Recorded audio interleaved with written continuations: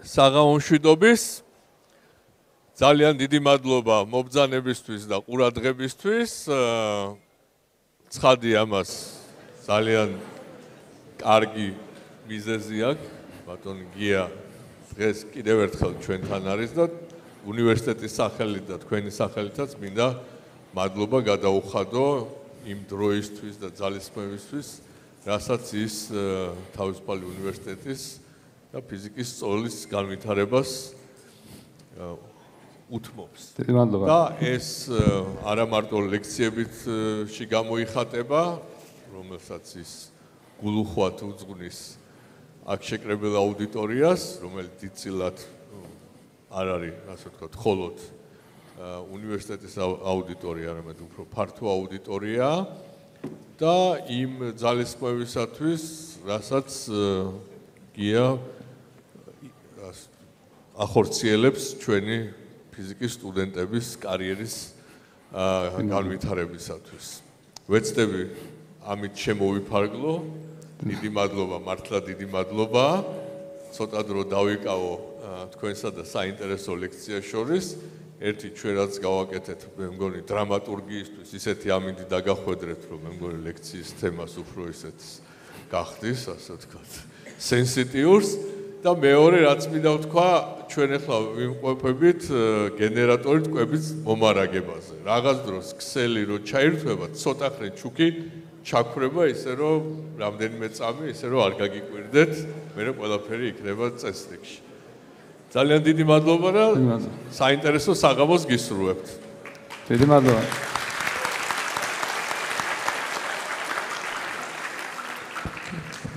ძალიან დიდი მადლობა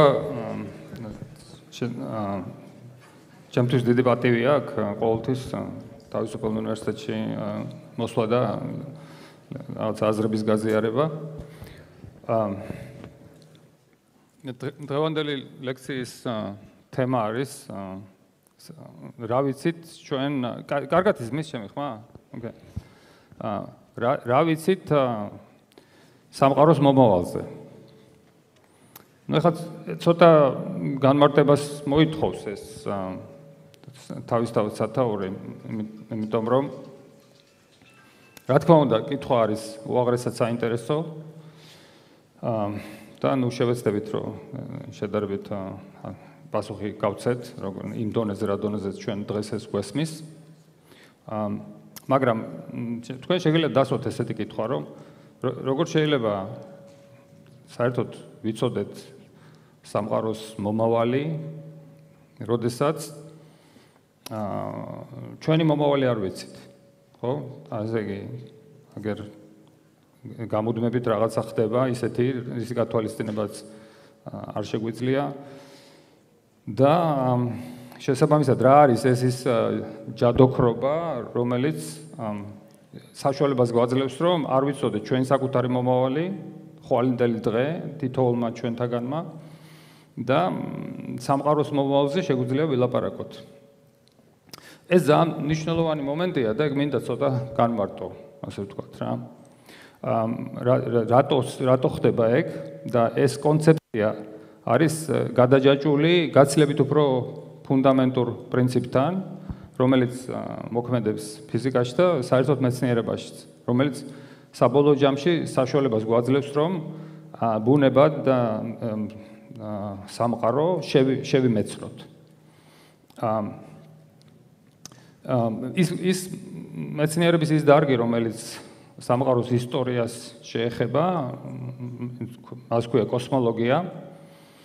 და კოსმოლოგია, ასე ვთქვათ, ცდილობს გაიგოს სამყაროს წარმოშობა, მისი წარსული და მისი მომავალი, ასევე. აა შესაბამისად, როდესაც ვლაპარაკობ ჩვენ სამყაროს მომავალზე, ну დღევანდელი სამყაროზე ჩვენ რა ვიცით? ასე იგი დღევანდელი სამყაროში არის სასრული რადიუსი. იმ მანძილის საიდანაც ჩვენ ინფორმაცია გაგვაჩნია. სამყარო ფართოვდება. რაც იმას ნიშნავს რომ სამყაროში არსებული სხვა სხვა galaktikები ასნაირად ეს სპირალური galaktika რო დავხადოთ ისინი ერთმანეთს შორდებიან, galaktikis კლასტერები ერთმანეთს შორდება. და შესაბამისად ესე იგი ორი ფაქტორია. ერთი ის რომ სამყარო ფართოვდება და შემდეგი ის რომ სამყაროს გააჩნია სასრული ასაკი აი მომენტიდან, როდესაც ჩვენ შეგვიძლია ეს უკან გადავახვიოთ ეს ფილმი და ეს როდესაც ვიცით რომ გაფართოება პირველ საწყისი ამ გაფართოების არსებობდა. აი ამ ორი ფაქტორის გამო სინათლეს, ну ეს დაახლოებით არის 10-ით 10-ით მილიარდი სინათლის 10-ით მილიარდი წელიწადი. ანუ სინათლეს აი ამ შორეული უბნებიდან ჩვენამდე, ესე იგი სინათლის ხივს, ჩვენ თუ სადღაც აქ ვართ სამყაროს ცენტრში, ჩვენ ჩვენ თავს თუ მოვათავსებთ როგორც ცენტრში, ცენტრს სამყაროს არა აქვს ცენტრი. ანუ ყველა ძალიან დემოკრატიული ობიექტია სამყარო, ყველა დამკვირვებელი თანაბარუფლებიანია და შესაბამისად ჩვენ ყოველთვის შეგვიძლია ჩვენი თავი ცენტრში მოვათავსოთ. სინათლის იმ უბნებიდან, შორეული უბნებიდან, საიდანაც ჩვენ გვაქვს ინფორმაცია დღეს მიღებული, სინათლე მოდიოდა 10-ობით მილიარდი წელიწადი. ესე იგი, შესაბამისად, ის გამოსახულებები და ის ინფორმაცია, რაც სინათლეს ჩვენამდე მოაქვს დღეს აი მუბნებიდან, ეს არის 10-ობით მილიარდი წლის წინანდელი ისტორია აი მუბნების. ესე იგი, იქ უამრავი ვასკულავი, რომელსაც ჩვენ დღეს ვხედავთ, უკვე ალბათ აღარ არსებობს ზოგი ჩაქრა, ზოგი აფეთქდა, სუპერნოვად გადაიქცა, ზეახლად, ან ან ან შეახრელად და ასე შემდეგ. უამრავი ცივილიზაცია ალბათ ამ დროის განმავლობაში იქიდან წამოსული სანამ ეს სხივი ჩვენამდე მოდიოდა, უამრავი ცივილიზაცია იმ უბანში ალბათ დაიბადა და გადაშენდა და ასე შემდეგ.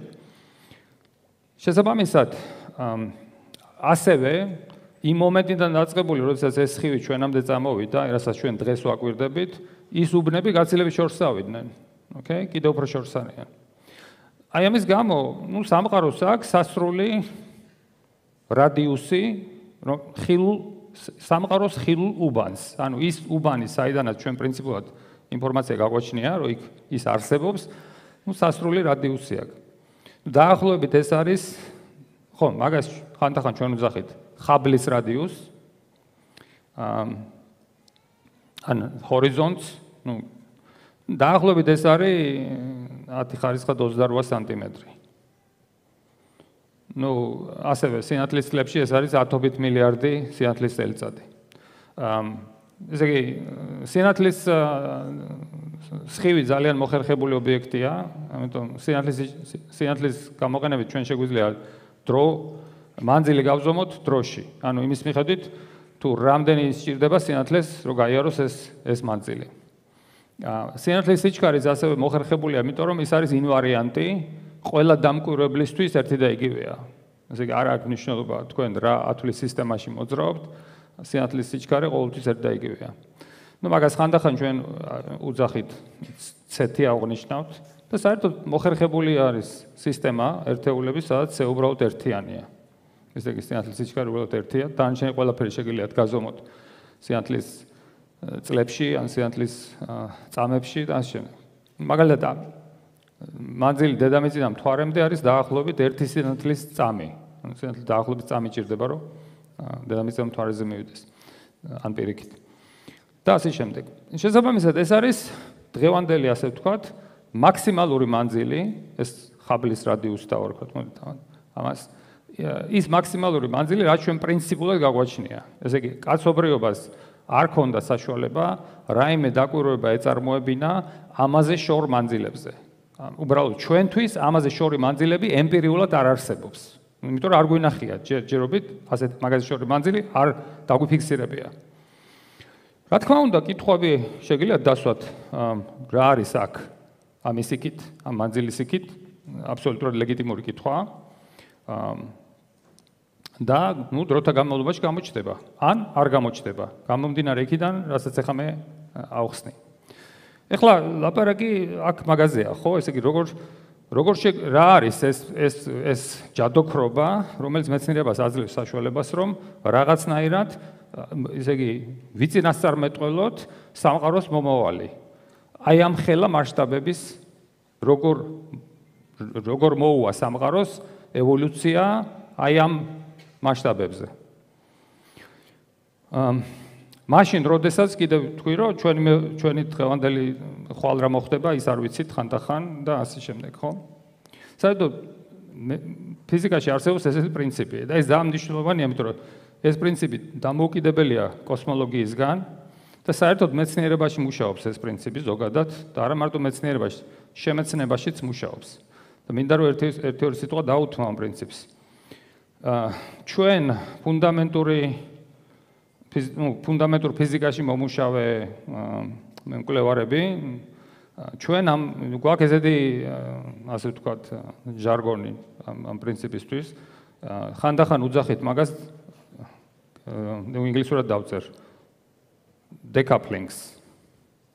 ან ან ქართულად იქნებოდა განცალება ალბათ რა. აა განცალება აა რა პრინციპია ეს? რა არის?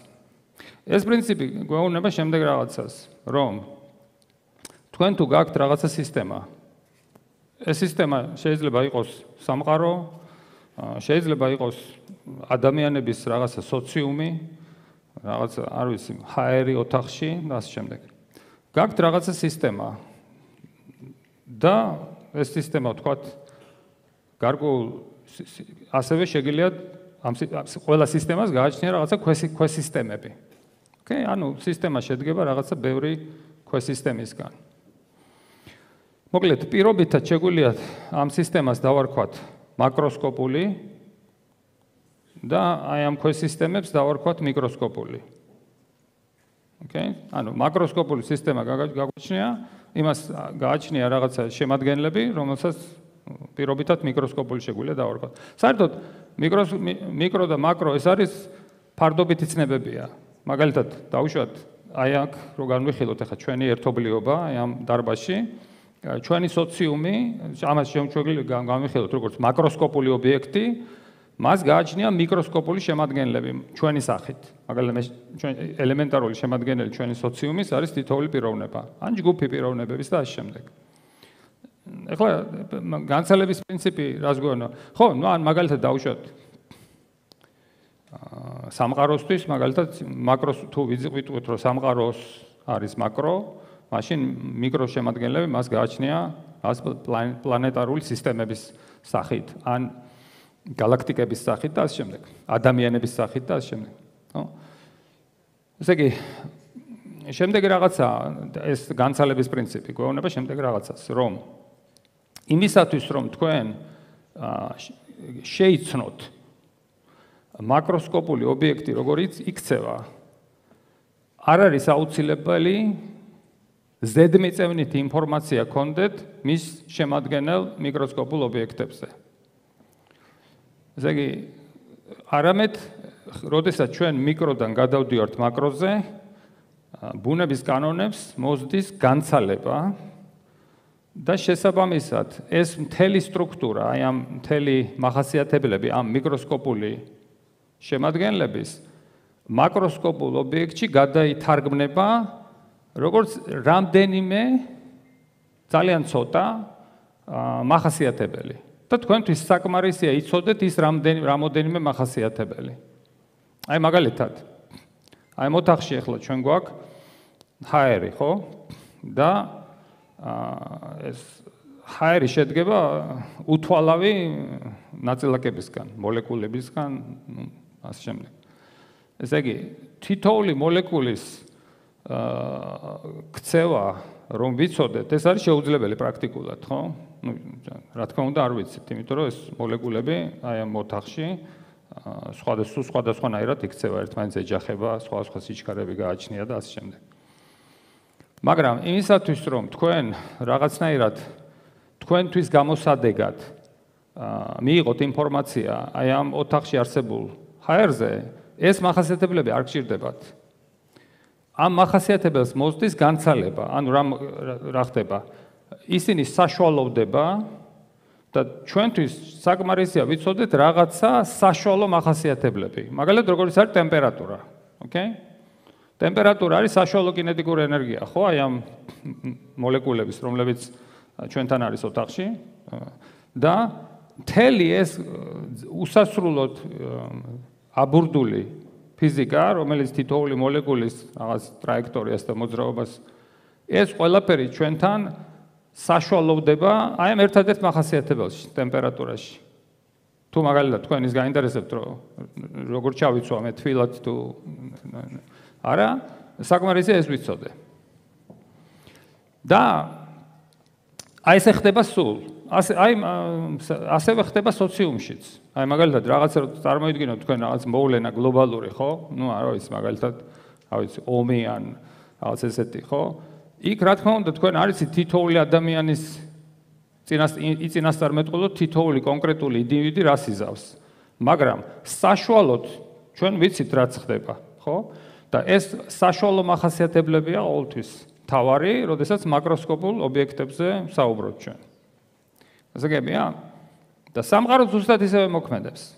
ესე იგი მიუხედავად იმისა, რომ სამყარო შედგება ყველაფრისგან, რაც არსებობს, მოლეკულებიდან დაწყებული ელემენტარული ნაწილაკები, ყველა მასშტაბზე რაღაცა სტრუქტურაა, ხო, სამყაროში. მიუხედავად ამისა, სამყაროში ხდება ეს განცალება. ანუ იმისათვის, რომ ჩვენ სამყაროს მომავალი ვიწინასწარ მეტყველოთ, ჩვენ არ გვჭირდება ყოველი მისი შემადგენელი პლანეტის ან მარსკლავის ან მოლეკულის დევნა. ოკეი? ეს არის ძალიან მნიშვნელოვანი. საერთოდ ეს საერთოდ თავისთავად არის ეხლა რა თქმა უნდა ეს არ არის ფილოსოფიაში ლექცია. მე არ მინა არ არ არ შემოხვედრება ფილოსოფიურ ანალიზს აი ამ განცალების ფენომენის. იმიტომ რომ რატო არის მნიშვნელოვანი ისეთ რომ რო არ ახასიათებდეს აი ეს დეკაპლინგი, ეს განცალება ბუნების კანონებს, ბუნების შემეცნება იქნებოდა შეუძლებელი. საერთოდ იმიტომ რომ წარმოიდგინეთ ჩვენი წინაპრები რას აკეთებდნენ ისინი ზუსტად ესევე იყენებდნენ ამ განცალებას. ჩვენ ჩვენმა წინაპრებმა არიწოდენ დაუშვათ მოლეკულური სტრუქტურა წყლის არიწოდნენ შემადგენლობა ელემენტარული ნაწილაკების ფიზიკა მაგრამ მიუხედავად ამისა ის მათ იწოდნენ ეს მაკროსკოპული מחასიათებლები და იწოდნენ მაგათ შორის მიზეს მიზეშედეგობრივი კავშირი ხო ნუ მაგალითად ელვა ის რო კორელაცია ელვას და გრუხუნ შორის და რომ შეიძლება ამას მოყვეს რაღაც შემდეგ, ხო? და ეს ალბათ აუცილებელია იმისთვის, ეს განცალება ეს ბუნების კანონის გამო ჩვენ განვითარდით. იმიტომ რომ განცალება რო არ არსებობდეს, შემეცნების განვითარება შეუძლებელი იქნებოდა, იმიტომ რომ გამოვიდოდა რომ თავიდანვე თქვენ ყველაფერი უნდა იცოდეთ, ყველა დონეზე და ეს პრაქტიკულად იქნებოდა შეუძლებელი. შესაბამისად, რაღაცნაირად ის რომ ჩვენ სამყაროში ცნობიერი აზროვნება განვითარდა, ну, მინიმუმ ჩვენი სახით, ხო? ეს არის ზუსტად აი ამის დამსახურება, აი ამ დეკაპლინგის პრინციპის, ის რომ ეს დეკაპლინგი მუშაობს ბუნებაში, ოკეი? ეხლა აა ახლა დაუბრუნდეთ სამყაროს. ესე იგი აა უპირველეს ყოვლისა იმისთვის რომ ჩვენ რაღაცნაირად ვიწინასწარ მეტყოლოთ რა მომავალი აქვს ჩვენს სამყაროს ამისათვის პირველი გვჭირდება ის გავიგოთ თუ რა არის ძირთადი მამოძრავებელი? აა ძრავი ასე ვთქვათ რა არის? რა ურთიერთქმედებაა? ყველაზე მნიშვნელოვანი აი ესეთ ტიპის მანძილებზე. აი ძალიან დიდ მანძილებზე ესე galaktikებს შორის აა galaktikis და galaktikებს შორის მანძილებზე. აა ესე იგი ურთიერთქმედება რომელიც აი ამ მანძილებზე აი ამ სამყაროს ზომის მანძილებზე არის ყველაზე მნიშვნელოვანი. ეს არის გრავიტაცია.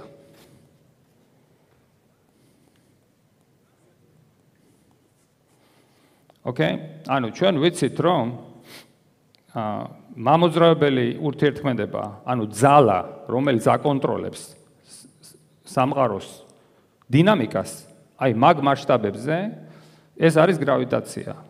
და ყველა სხვა ურთიერთქმედება ძალიან პატარა წვლილი აქვს.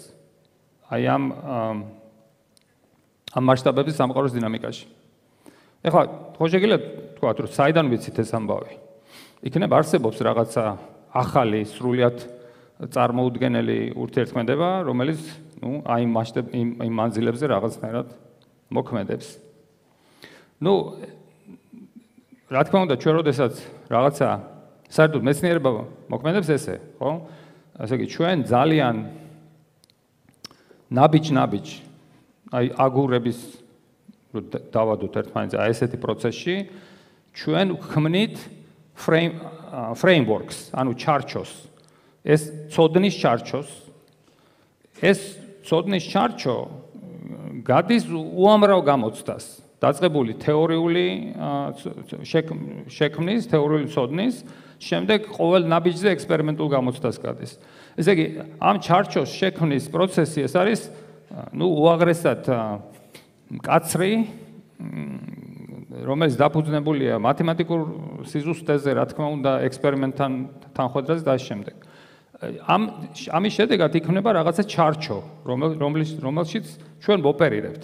რა თქმა უნდა, ჩვენ როდესაც ვლაპარაკობთ აა რაღაცა წინასწარმეტყველებაზე, თუ როგორ იქნება სამყაროს მომავალი, ჩვენ გამოვდივართ აი ამ ჩარჩოდან. აა და მართლაც ესეა, აი ამ ჩარჩოს ცვლილება, რო წარმოიდგინოთ თქვენ რომ აი ხო შეიძლება კი დღეს ჩვენ ეს ჩარჩო გვაქვს, მაგრამ აი ხვალ ხო შეიძლება რომ რაღაცა ახალი აღმოაჩინოთ, რომელიც აი მანძილებზე სრულიად შეცვლის არ ხდება ეგრე. აი მაგალითად, აი ხა შეგვიძლია განვიხილოთ რატომ. აი ავიღოთ გრავიტაცია, ხო? რა არის გრავიტაცია? ჯერ ერთი რატომ არის რომ გრავიტაცია არის ყველაზე მნიშვნელოვანი ურთიერთქმედება მაგ მანძილებზე? საერთოდ აღმოჩ დღესდღეობით ჩვენ პირობითად გვაქვს 4 ურთიერთქმედება აღმოჩენილი. ეს არის ელექტრომაგნიტური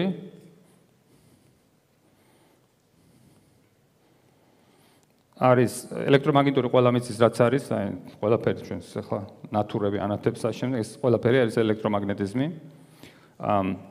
არის ეგრეთ წოდებული სუსტი ურთიერთქმედება, ეს უბრალოდ ტერმინოლოგიაა, სიამდვილეში აფერი კავშირი არ აქვს იძლიერესთან, ისტორიულად ესე შემოვიდა. სუსტი ურთიერთქმედება ეს არის რადიოაქტიულ დაშლებზე.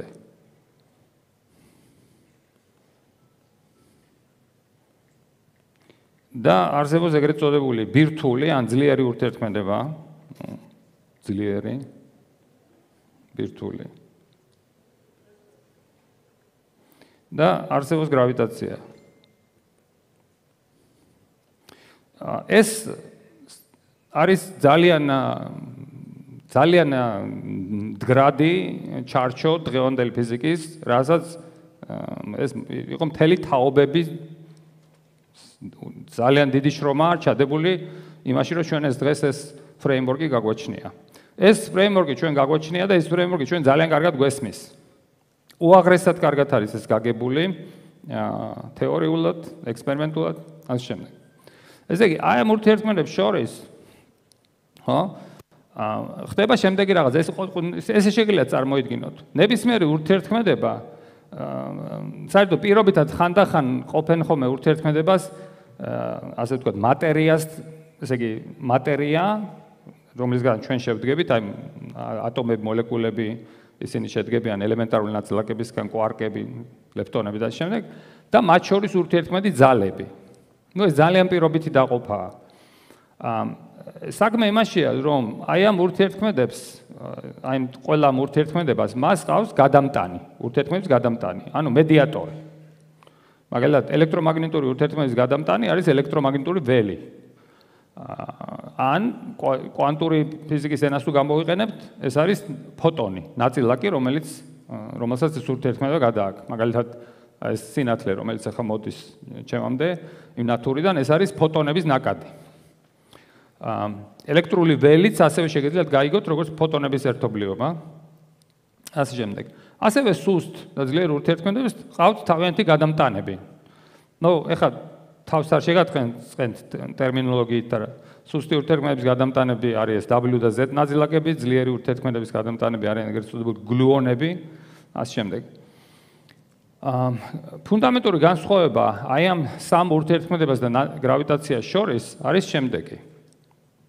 რომ შესაძლებელია აი ამ სამი ურთიერთქმედების ეკრანირება. ანუ ანუ დათრგუნვა. ანუ რას გულისხმობ? აი მაგალითად ელექტრომაგნიტური ურთიერთქმედება, ხო? ელექტრომაგნიტური ურთიერთქმედება ეს არის ელექტრომაგნიტურ ურთიერთქმედებას განიცდიან ელექტრული მუხტები, ხო? და ელექტრულ მუხტს შეიძლება შეიძლება კონდეს ორი ნიშანი. ოკეი? იყოს, ну, პირობითად ჩვენ მაგას უძახით დადებიც და უარყოფიც.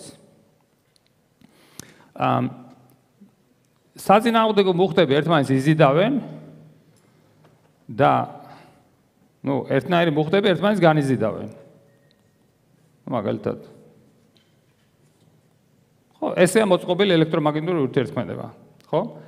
ეხლა ეს ორი ურთიერთქმედება სუსტი და ძლიერი ელექტრომაგნიტურს რაღაცით გავს, რაღაცით არა გავს, მაგრამ იმ თვალსაზრისით, რომ იქაც არსებობენ ორი სხვადასხვა ნიშნის მქონე მუხტები, აი ამ სამი ურთიერთქმედებას აქ ეს თვისება.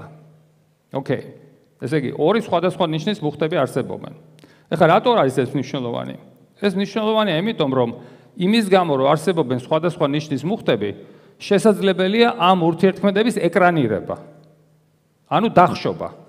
როგორ? აი მაგალითად თქვენ შეგიძლიათ დაიღოთ სფერო, რომელსაც აქვს მაგალითად დადებითი მუხტი, მაგალითად არ ვიცი, მაგალითად რაღაცა ერთეულებში ამ სფეროს აქვს დადებითი მუხტი, ვთქვათ 10, ოკეი?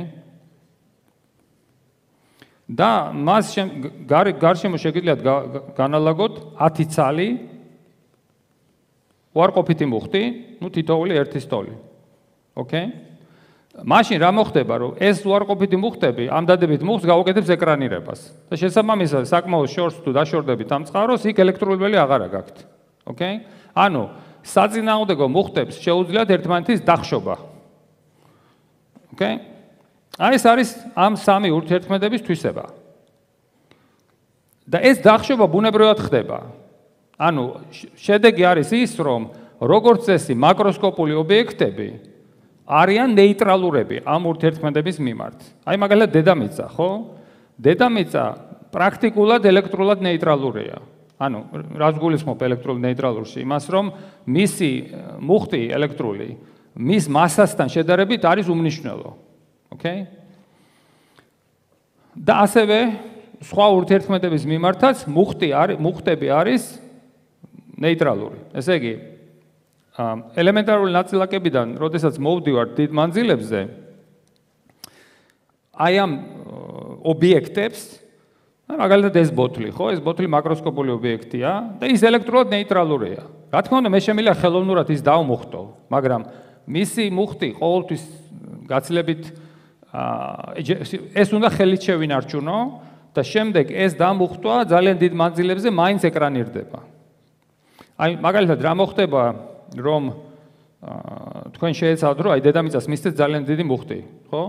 აი ეს მოხდება, იგივე ეფექტი მოხდება, იმიტომ რომ ჩვენი სამყარო სავსეა თავისუფალი ელექტრონებით, თავისუფალი მუხტებით. და როგორც კი თქვენ სადღაც შეეცდებით რომ რაღაცა მუხტის სიჭარბე შექმნათ, ყოველთვის ეს მუხტები გადაეწყობიან ისე რომ ეს ეს მუხტი გაანეიტრალონ. ოკეი? ამიტომ რა ხდება? ესე იგი, მნიშვნელოვანი რა არის, რომ დიდ მასშტაბებზე ობიექტები, აი მაგალითად galaktika და მეზობელი galaktika. ისინი ნეიტრალურებია აი ამ ურთიერთქმედების მიმართ, ამ სამი ურთიერთქმედების მიმართ. შესაბამისად, გარკვეული ესე იგი სიღრმეებში ვარ წავიდეთ, ჩვენი galaktika, მეზობელ galaktikas მხოლოდ და მხოლოდ ხედავს გრავიტაციის ხარჯზე. რა თქმა უნდა, არის ელექტრომაგნიტური გამოსხივება, კონკრეტულ შემთხვევაში ელექტრომაგნიტური გამოსხება რა თქმა უნდა ძალიან დიდ როლს თამაშობს. ეხლა მაგალითად ზიდა მთელი ენერგია ჩვენთან მოდის ელექტრომაგნიტური გამოსხების ხარჯზე, რა თქმა უნდა ფოტონების ხარჯზე და ასე შემდეგ. მაგრამ ის რაც შეეხება აი თვითონ დინამიკას, აი ძირითადად აი ესეთ მასშტაბებზე ყველა დანარჩენი ურთიერთქმედება თითქმის არის ეკრანირებული და გრავიტაცია არის თავარი მამოძრავებელი ძალა. ეხლა გრავიტაციას რა თვისება აქვს? ძალიან საინტერესო თვისება აქვს. გრავიტაციას აქვს თვისება, რომ მისი ეკრანირება არის შეუძლებელი. უფრო სწორად, რომ დავაკონკრეტოთ. აი, წარმოვიდგინოთ რაღაცა სასრული ზომის ობიექტი, ორი. ესე იგი მათ გააჩნიათ რაღაცა მასები, ხო? ნუ რაღაცა M1 და M2 მასა გააჩნია. აი გრავიტაციული ურთიერთქმედება მათ შორის, ასეთი ობიექტებს შორის აა ჯერ ერთი გრავიტაცია საქმთვისება რომ ის ყოველთვის მიმიზიდავია, ანუ ესე იგი ლოკალიზებულ, ანუ ეს დამნიშნავანია. ობიექტებს, რომლებსაც აქვს სასრული ზომა, ანუ რომლის ლოკალიზებაც შეიძლება, ასეთი ობიექტებს შორის გრავიტაცია არის ყოველთვის მიმზიდავი.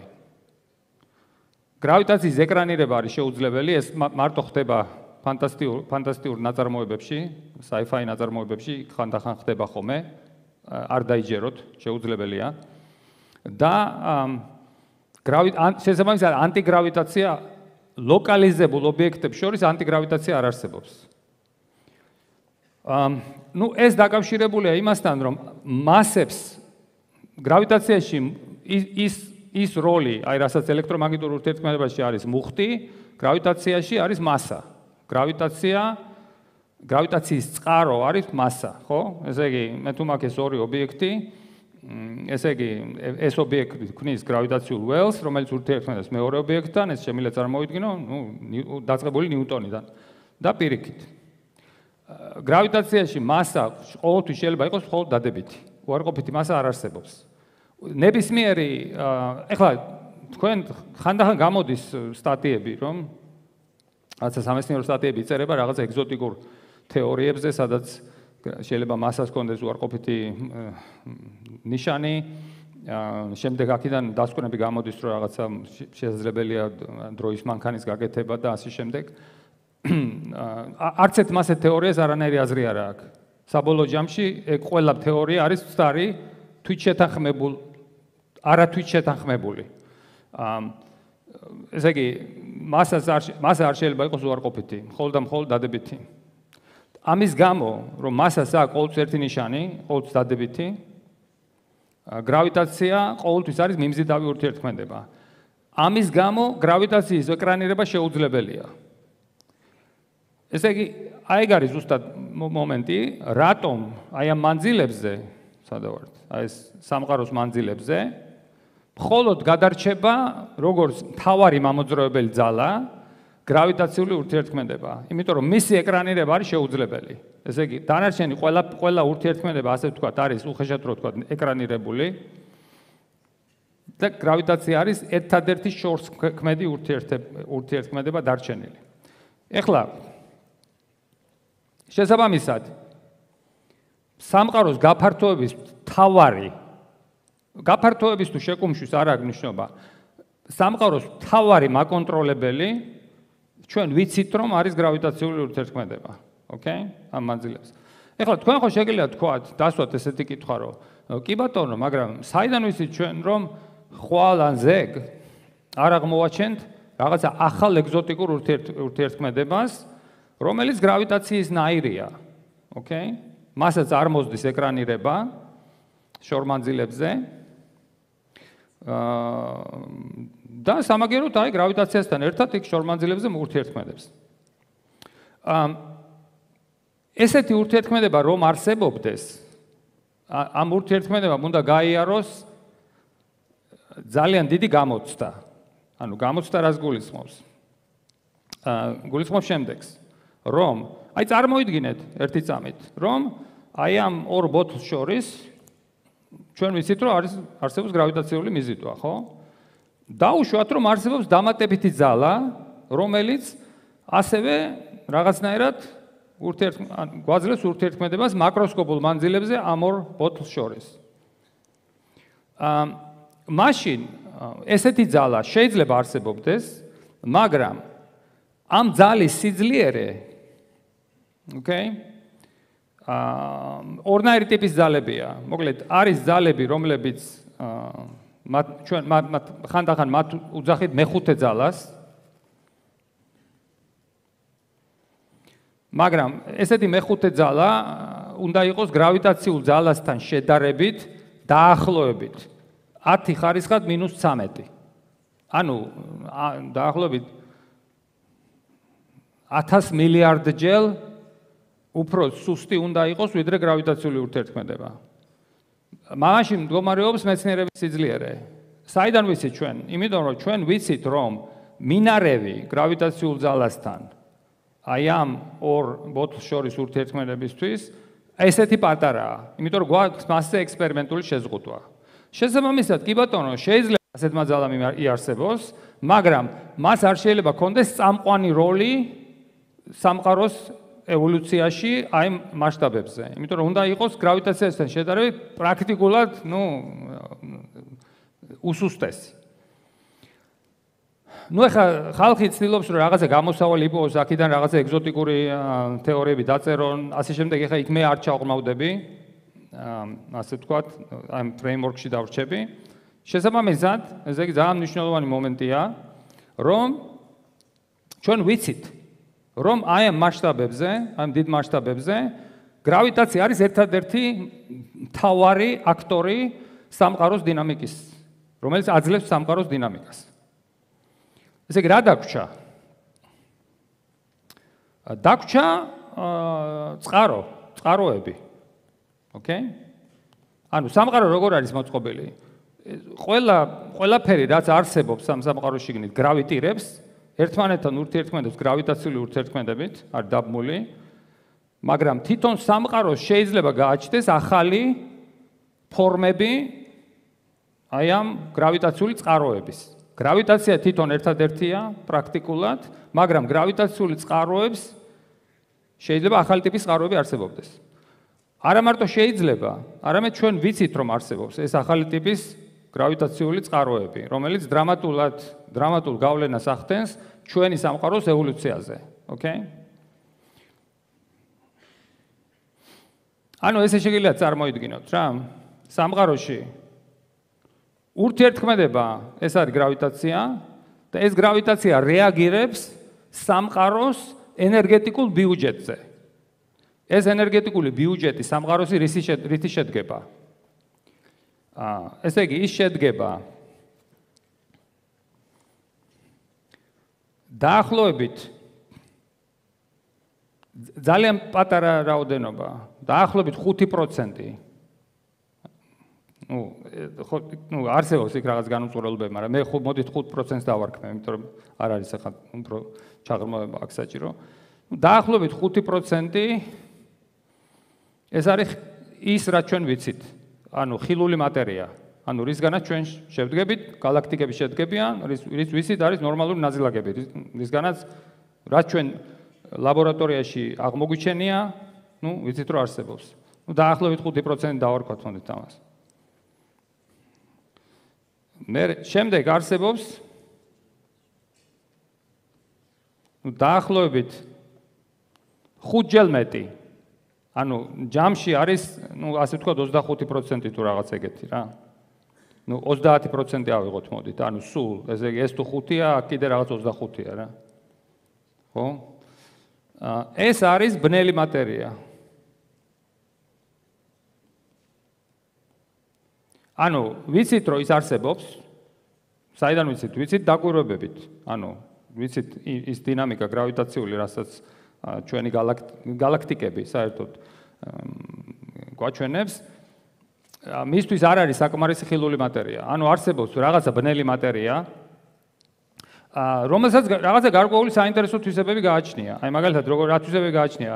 ჩვენ galaktikაში ესეთი ჩვენში და საერთოდ თქვა galaktikas დაუშვათ თუ გააჩნია ეს ხილული სტრუქტურა, რომელიც ამ ამას გარდა არსებობს ესეთი გაბნეული, ძალიან ჰალოს ვეძახით ჩვენ მაგას. ესე იგი, ბნელი მატერია არის გაცილებით უფრო ნაკლებად არის კლასტერირებული. ესე ჰალო, ესე იგი, თითოეული galaktika დაათრევს თან ამ ბნელი მატერიის ჰალოს. მოკლედ ეს არის ბნელი მატერია.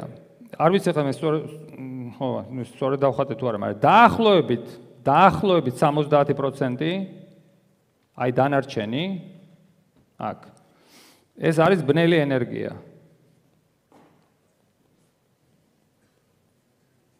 ესე იგი, აა დაახლოებით ჩვენ ვიცით 5% ექსპერიმენტულად რისგან შედგება სამყარო. აა ესე იგი, მატერია და არის ბნელი ენერგია. ეხლა რა განსხვავება მატერიას, ბნელ მატერიას და ბნელ ენერგიას შორის? ძალიან დიდი განსხვავება, ეს ძალიან მნიშვნელოვანია. მატერია რასაც ჩვენ უწოდებთ ეს ტერმინი ეს ნიშნავს რომ ეს არის წყარო ობიექტები რომელთაც ერთად შეგროვება შეიძლება ესე იგი მატერია შეიძლება იყოს ლოკალიზირებული გამიგეთ ანუ მატერია პრინციპში შეგიძლიათ მოაქუჩოთ ერთად ну თქვა წაიღოთ და ლაბორატორიაში აწონოთ ან ლაბორატორიაში შექმნათ ოკეი ანუ მატერია ეს არის ის სუბსტანცია, რომელიც შეგროვება შეიძლება. ოკეი. აა შესაბამისად, ვინაიდან მატერიის შეგროვება შეიძლება, ეს მატერია გრავიტირებს ისე როგორც ჩვეულებრივი მატერია. ანუ მისი გრავიტაციული ურთიერთქმედება არის მიმზიდავი. ესე იგი, ბნელი მატერია არ აქვს მნიშვნელობა, ბნელი თუ არაბნელი, მატერია ერთმანეთს ყოველთვის იზიდავს. ოკეი? ეხლა რა არის ამ მიზიდვის ეფექტი? მიზიდვის ეფექტი ის არის, რომ ვინაიდან მატერია ერთ და ბნელიც და ხილულიც ერთმანეთს იზიდავს გრავიტაციის გამო, ისინი ცდილობს ისინი ცდილობენ, რომ სამყაროს გაფართოება შეანელონ. ოკეი? ну ეს დაახლოებით იგივე ახლა მე რო ეს ბოთლი გავისროლო მაღლა ხო მე შეიძლება ეს ბოთლი იმდენად მაღლა გავისროლო, რომ საერთოდ არ ჩამოვარდეს.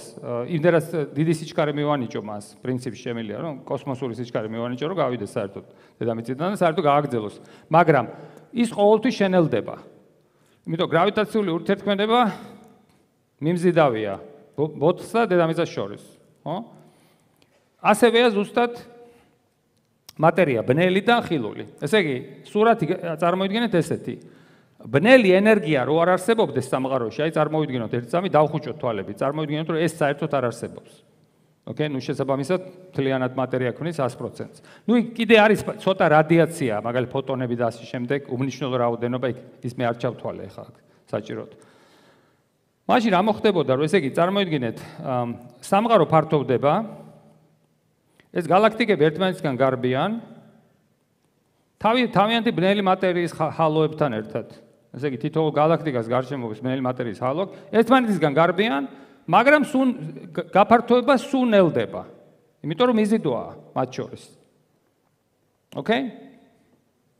ესე იგი სამყაროში რომელშიც არის მხოლოდ მატერია, ну ან თქვა რადიაცია და შემდეგ, ესეთი გაფართოებადი სამყარო მუდმივად შენელდება. ოკეი? შენელებული სამყაროა.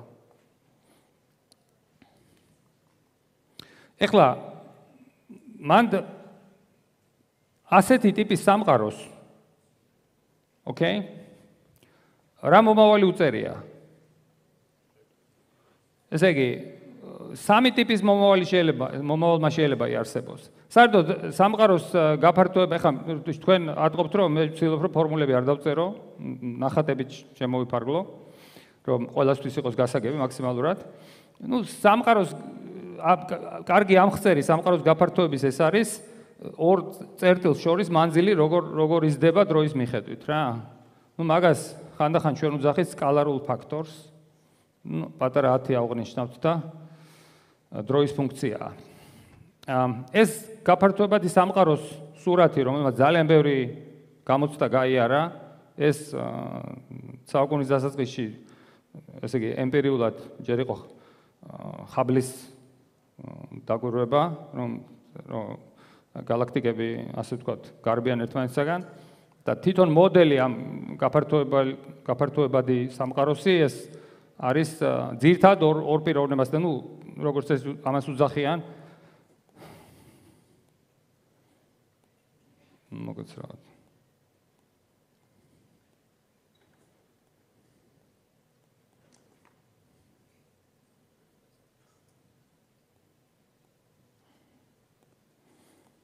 ესეთ ტიპის სამყაროს. FLRW სამყაროს. ეს არის პირველი ასოები გვარების. F-ი არის ფრიდმანი L-ი არის ლემეტრი ლემეტრი იყო კათოლიკე მღვდელი. მან ერთ-ერთი პირველია რომელმაც შექმნა ეს გაფართოებადი სამყაროს მოდელი. რობერტსონ ვოლკერი ესეთი ტიპის სამყაროა. და ეს სკალარული ფაქტორი ну როგორც დროის ფუნქცია შეგვიძლია წარმოვიდგინოთ კოსმოსური დროის, კოსმოლოგიური დროის ფუნქცია.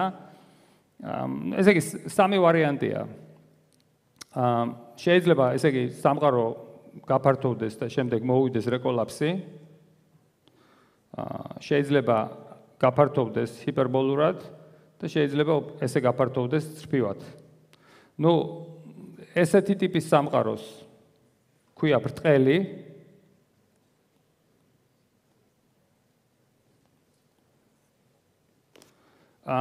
და დაგურებები მიუთითებს რომ ჩვენ ესეთი ტიპის სამყაროში ვცხოვრობთ ძალიან დიდი სიზუსტით. ანუ ჩვენ ვიცით რომ ჩვენი სამყარო არის ბრტყელი დაახლოებით 1/1000-ზე უკეთესი სიზუსტით. ესე იგი, აი ესეთ სამყაროში ვცხოვრობთ. ოკეი. აა მოკლედ ესე იგი, ბრტყელი სამყარო ესე იგი, მოდით დაუშვათ, რომ ესე იგი ჩვენი სამყარო მართლაც ძალიან ახლოს არის ბრტყელთან, ხო? ესე იგი, ბრტყელ სამყაროს რა მოსდის მაშინ? რა მომავალი უწერია? ესე იგი, ბრტყელი სამყარო სულ ფართოვდება. ოკეი? ეს გასაგებია. აა მაგრამ სულ გაფართოვება შეიძლება მოხდეს შენელებით, შეიძლება მოხდეს აჩქარებით, ხო? ესე იგი, რომელია სწორი? აა სამყაროში ეს დამოკიდებულია სამყაროს ენერგეტიკულ ბიუჯეტზე. ოკეი? სამყაროში ძირთად ენერგეტიკული ბიუჯეტი რომ იყოს მხოლოდ მატერია მაშინ ა სამყარო სულ შენელდებოდა. ოკეი? ესე იგი, გაფართოვდება, გაფართოვება წავიდოდა, მაგრამ იქნებოდა სულ შენელებული. ესე იგი, ამ შენელებას ძალიან მნიშვნელოვანი მომენტი ახლავს თან. ეს ძალიან მნიშვნელოვანია. სამყარო, რომელშიც გაფართოება მიდის, მაგრამ შენელებულია, მაგ სამყაროში აუცილებლად კოსმოლოგიური ჰორიზონტი გაიზრდება. ოკეი? ესე იგი, აი ეს კოსმოლოგიური ჰორიზონტი, რაც მე ვთქვი, რომ დღეს არის თქვა 10 ხარისხად 28 სანტიმეტრი 10 მილიარდი სინათლის წელს ეს კოსმოლოგიური ჰორიზონტი სულ უფრო და უფრო გაიზრდება. გაიზრდება უსასრულოდ. ანუ ეს რაც იმას ნიშნავს რომ თუ ჩვენ ცხოვრობთ ესეთ სამყაროში რომელიც არის შენელებული რომელშიც შენელება ხდება ა ჩვენ დავინახავთ სულ უფრო და უფრო ბევრს. ანუ სულ უფრო და უფრო ახალი უბნები გაიხსნება ჩვენთვის საიდანაც ინფორმაცია შემოვა. ოკეი? ანუ კოსმოლოგიური ჰორიზონტი ჩვენი უსასრულოდ გაიზრდება. ოკეი? აა ეხლა აღმოჩნდა, ну, დაახლოებით, როდის იყო ეს? ну, 30 წლის ფარგლებში, ну, აა 90-იანი წლების ბოლოს ეს თლათ ჩამოყალიბდა ეს აღმოჩენა. აღმოჩნდა შემდეგი. რომ სამყაროში არსებობს ეს ბნელი ენერგია. და არა მარტო არსებობს, არამედ სამყაროს ენერგეტიკული ბიუჯეტის, დღევანდელი სამყაროს ენერგეტიკული ბიუჯეტის 70% არის ეს ბნელი ენერგია. რა არის ბნელი ენერგია?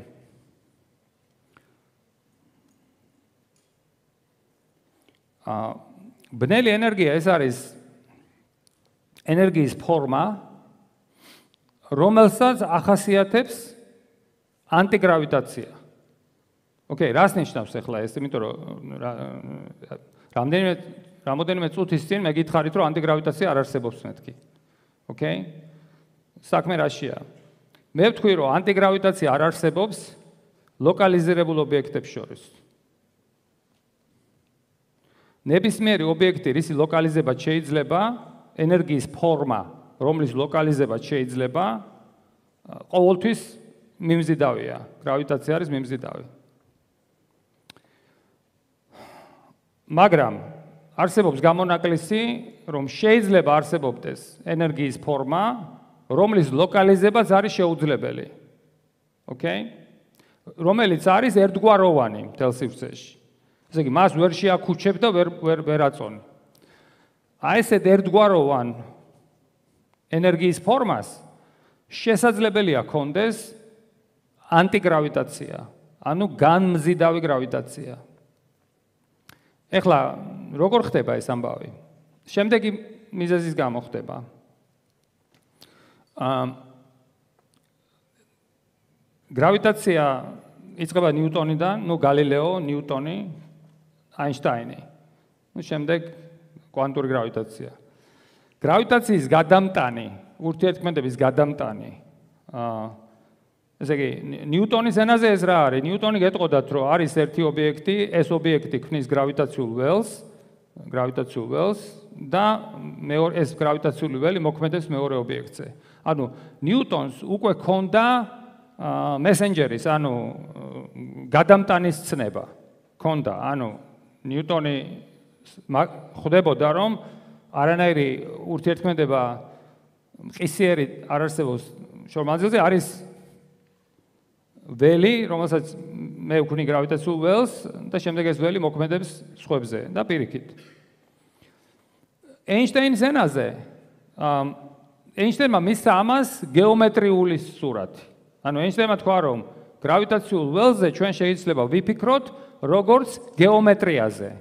ანუ ესე იგი ნიუტონი თუ იძახდა რომ ეს ქმნის რაღაც გრავიტაციულ ველს, რაღაცა ფიუ დავარქვათ ამას, აინშტაინი იძახის რომ ეგრე კი არ უნდა იფიქრო, არამედ ეს ობიექტი ქმნის სივრცეს, სივრცეს ამრუდებს, ოკეი? გეომეტრიას ქმნის და მე ეს გეომეტრია მოქმედებს მეორე ობიექტზე. ერთი და იგივეა ზღვარში, ოკეი? და საბოლოოდ არის არის უფრო თანამედროვე სურათი კვანტურ ფიზიკის ენაზე გრავიტაციის სურათი ის არის რომ გრავიტაციას აქვს ურთიერთქმედების გადამტანი. ну მაგას უძახით ჩვენ გრავიტონს. ანუ გრავიტონი გრავიტონს გადააქვს ურთიერთქმედება აი ამ ორ წყაროს შორის. რა თქმა უნდა არც ერთი ესენი ერთმანეთს არ გამორიცხავენ იმიტომ რომ საერთოდ მეცნიერება ვითარდება ესე რომ ნებისმიერ თეორიას აქვს თავისი არეალი იმ მოვლენების, რასაც მას შეუძლია აღწეროს. ნიუტონის არეალი არის, ну, მოძრავი მატერია, რომელიც მოძრაობს ნელა და შესაბამისად მაგას აღწერს ძალიან კარგად. აინშტაინი უფრო ფართოა. ესე იგი, აი ამ საზღვრის მიღმა ნიუტონი განამცდარია, უბრალოდ არ მუშაობს. და შემდეგ გვაქვს კვანტური გრავიტაცია. აა ეს რა თქმა უნდა კვანტური გრავიტაცია თავის თავში მოიცავს როგორც გარკვეულ ზღრულ შემთხვევას, მოიცავს ეინშტაინსა და მოიცავს ნიუტონსაც. ოკეი. მოკლედ, გრავიტაციის ზალია ბალი არის ის, რომ გრავიტაციული ველი თვის წყაროს წარმოადგენს არა მარტო მასა და ენერგია, არამედ მოი ესე ვიტყვი, წნევა, მოკლედ წნევას ესე იგი გრავიტაციას გრავიტირებს არა მარტო მასა და ენერგია, არამედ ასევე წნევა. ესე იგი თქვენ თუ გაქვთ მაგალითად გაზი, რაღაცა სწრაფად მოძრავი ობიექტების წნევაც ასევე გრავიტირებს. ამ ჩვეულებრივ ობიექტებს წნევა აქვთ ასევე დადებითი. ოკეი? ახლა მაგალითად აი ამ ოთახში მოლეკულებს ეს გაზს აქვს დადებითი წნევა. შესაბამისად, ჩვეულებრივი ობიექტების შემთხვევაში წნევა ასევე მიმზიდავ გრავიტაციას წარმოქმნის. ესე იგი, ნებისმიერი ობიექტი რისი ლოკალიზებას თქვენ შეგიძლიათ, მას არასდროს არ ექნება იმ ხელა უარყოფითი წნევა, რომ მან ანტიგრავიტაცია გააკეთოს. გამონაკლისი არის ობიექტები, რომლებსაც ვერ შეაკუჩებთ ერთად და ესეთია ზუსტად ბნელი ენერგია. ბნელ ენერგია ეს არის ენერგიის ფორმა, რომელსაც აქვს დადებითი ენერგია, მაგრამ უარყოფითი წნევა. და წნევა ჯობნის. და შესაბამისად, ანტიგრავიტაცია ხდება უარყოფითი წნევის გამო. აი ესეთი უაღრესად საინტერესო ობიექტია. Ну, წყარო. ესე იგი, დავაჯამოთ ახლა რა. დღეს ჩვენ ვიცი შემდეგი, რომ ჩვენი სამყაროში დომინანტი წყარო, ეს არის ბნელი ენერგია, რომელსაც აქვს უარყოფითი წნევა, რომელიც ჯობნის დადებით ენერგიის სიმკვრივეს და შესაბამისად ჩვენი სამყარო დღევანდელი კონტროლირდება აი ამ ბნელი ენერგიის ანტიგრავიტაციით. ეს ბნელი ენერგია იმის გამო რომ იწვევს ანტიგრავიტაციას, იწვევს აჩქარებულ გაფართოებას ჩვენი სამყაროს. ანუ ჩვენ დღეს შევდივართ აი ამ ეპოქაში, რომელსაც ქვია ამ ბნელი ენერგიის ეპოქა. ნუ ძალიან кай სახელი არ არის, მაგრამ ნუ ეგრე, ნუ რაც არის. ოკეი? ესე იგი, დღეს ჩვენ შევდივართ აი ამ ეპოქაში. ოკეი. ანუ ვიცით რომ ესე იგი აჩქარებულად ფართოვდებით. ეს ერთ-ერთი უდიდესი აღმოჩენა აი ამ ბოლო ბოლო ბოლო ნუ ბოლო 10 წლეულების, როგორც ვთქვი, 90-იანების ბოლოს, ასევე ეს დამტკიცებულია ძალიან ბევრი დაკვირვებებით. თუმცა რა თქმა უნდა არის ხალხი, ვინც ცდილობს რომ ასე ვთქვათ, ნუ რაღაცნაირად კრიტიკულად ეჭქვეს დააყენოს და ნუ ეს აბსოლუტურად ჯანსაღი პროცესია. აა ოკეი, ესე იგი რო დავაჯამოთ დღეს ჩვენ შევედით შევდივართ აჩქარებულად გაფართოების ეპოქაში ანტიგრავიტაციის გამო, რომელიც მოდის ბნელი ენერგიიდან. რა არის ესეთ სიტუაციაში სამყაროს მომავალი? ოკეი? ამ ანუ რა შეგვიძლია წარმოვიდგინოთ? რა სცენარები შეგვიძლია წარმოვიდგინოთ? აა სცენარი ნომერ პირველი შეგვიძლია წარმოვიდგინოთ ესეთი. რომ ბნელი ენერგია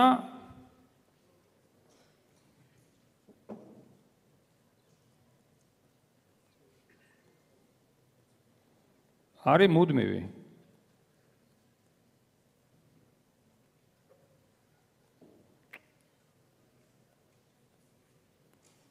ოკეი, ამას სახელიც აქვს, ხანდახან ჩვენ მაგას უძახით კოსმოლოგიურ კონსტანტას, კოსმოლოგიურ მუდმივას. აა ნუ ესეთი ლამბდათი აღინიშნება. შემოიყვანა სხვა შორის ისტორიულად ეინშტეინმა შემოიყვანა, შემდეგ უარყო. ნუ რაღაც ისტორიული მოსაზრებების გამო ამ მიზეზით არა, სხვა მიზეზით. აა მოკლედ ესეთი მარტივი ვარიანტი არის, რომ ბნელი ენერგია არის მუდმივი. ნუ, როცა მე ვიძახი მუდმივზე, აა ეხა აუცილებელი არ არის დღეს იყოს მუდმივი, მაგრამ რაღაცა ზღრული დონე აქვს, რომლის ქვემოთაც არ ჩამოვა. ესე იგი, ჩვენი მომავალი თუ ესეთი არის, ესე იგი, ბნელი ენერგია რაღაცნაირად ასიმპტოტურად გავა რაღაცა ზღვარზე, მაგრამ იქნება არა ნული, ეს არის სცენარი ერთი ჩვენი მომავლის. მეორე სცენარი ეს არის რომ ბნელი ენერგია დაიშლება. ოკეი? და გადავა ჩაოლებრივი ტიპის ენერგიაში. ოკეი. ეს ორი სცენარი ერთმანეთისგან რა თქმა უნდა დრამატულად განსხვავდება. ესე იგი პირველი სცენარი განვიხილოთ. პირველი სცენარის შემთხვევაში ჩვენი მომავალი მომავალი იქნება ესეთი. ჩვენი კოსმოლოგიური ჰორიზონტი გაიყინება. ანუ სივრცე, ესე იგი არაურიოთ ერთმანეთში. სივრცე ფართოვდება, მაგრამ კოსმოლოგიური ჰორიზონტი იყინება. ეს რას ნიშნავს, რომ აი როგორ რა შევადარო? აი ჩანჩქერს რო შეადაროთ. აი წარმოიდგინეთ, რომ ესე იგი ჩანჩქერში იმდენად სტრაფია დინება, რომ რაღაცა შეიქმნა რაღაცა ზღრული ჰორიზონტი, რომელსაც აი გინახიათ თევზე კალმახი რო ხტება ზევით. აი ვერასდროს ვერანაირი კალმახი რო ვერ ახტება. აი ესეთი. ესე იგი არის ჰორიზონტი ყველაფერი გარბის ამ ჰორიზონტიდან ყველანი ერთმანეთისგან გაურბივართ. ანუ ნებისმიერი დამკვირვებლისთვის, ნებისმიერი ჯგუფისთვის, მაგალითად ჩვენი galaktikistvis, ყველა სხვა galaktikis კლასტერები გაიქცევიან და გავლენ ჰორიზონტიდან. ძალიან მომავალი ამ შემთხვევაში არის ძალიან მოსაწყენი. აა რატომ არის მოსაწყენი? იმიტომ რომ ფაქტიურად ჰორიზონტის იქიდან იქით ჩვენ ვერაფერს ვერ ხედავთ. აა ყველა ეს ხილული galaktika საბოლოოდ გავა ჩვენი ჰორიზონტიდან და ჩვენ დავრჩებით მარტო. ნუ ჩვენ და ჩვენი რაღაცა უახლოესი გარემოცვა. რაღაცნაირად დავრჩებით მარტო. ну ეხლა აქ რა თქმა უნდა ну უამრავი რაღაც საინტერესო კითხვა შეიძლება ადამიანმა დასვას, ну ფილოსოფიურიც ასე შემდეგ. ბევრი ძალიან ჭკვიანი ფიზიკოსი ფიქრობდა აი ასე ასე შემთხვევაში მაგალითად რა რა მომავალი შეიძლება კონდეს. ну ეხლა კაცობრიობაზე არა გვაქვს საუბარი. გასაგებია რომ ცივილიზაციის არსებობის სკალა შეიძლება იყოს ძალიან პატარა, აგერ ხო ხედავთ რასაც უკეთებთ საკუთარ თავს, შეიძლება საერთოდ არაფერი ის არ დაგჭირდეს, ისე მოსვლოთ, მაგრამ ზოგადად ესე იგი, აი შეიძლება თუ არა პრინციპში იარსებოს ცივილიზაციამ. განუ განუზომელი დროით. ოკეი?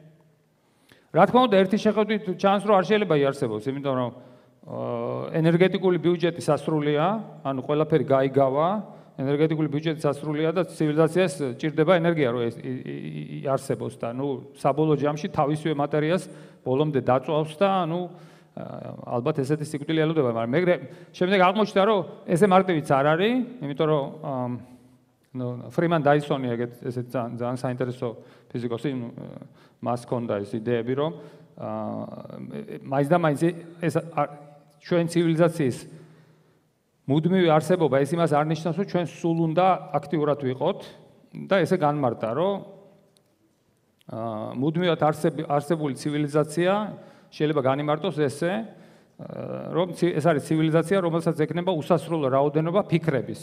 ანუ უსასრულო რაოდენობა ფიქრებს გაიფიქრებს.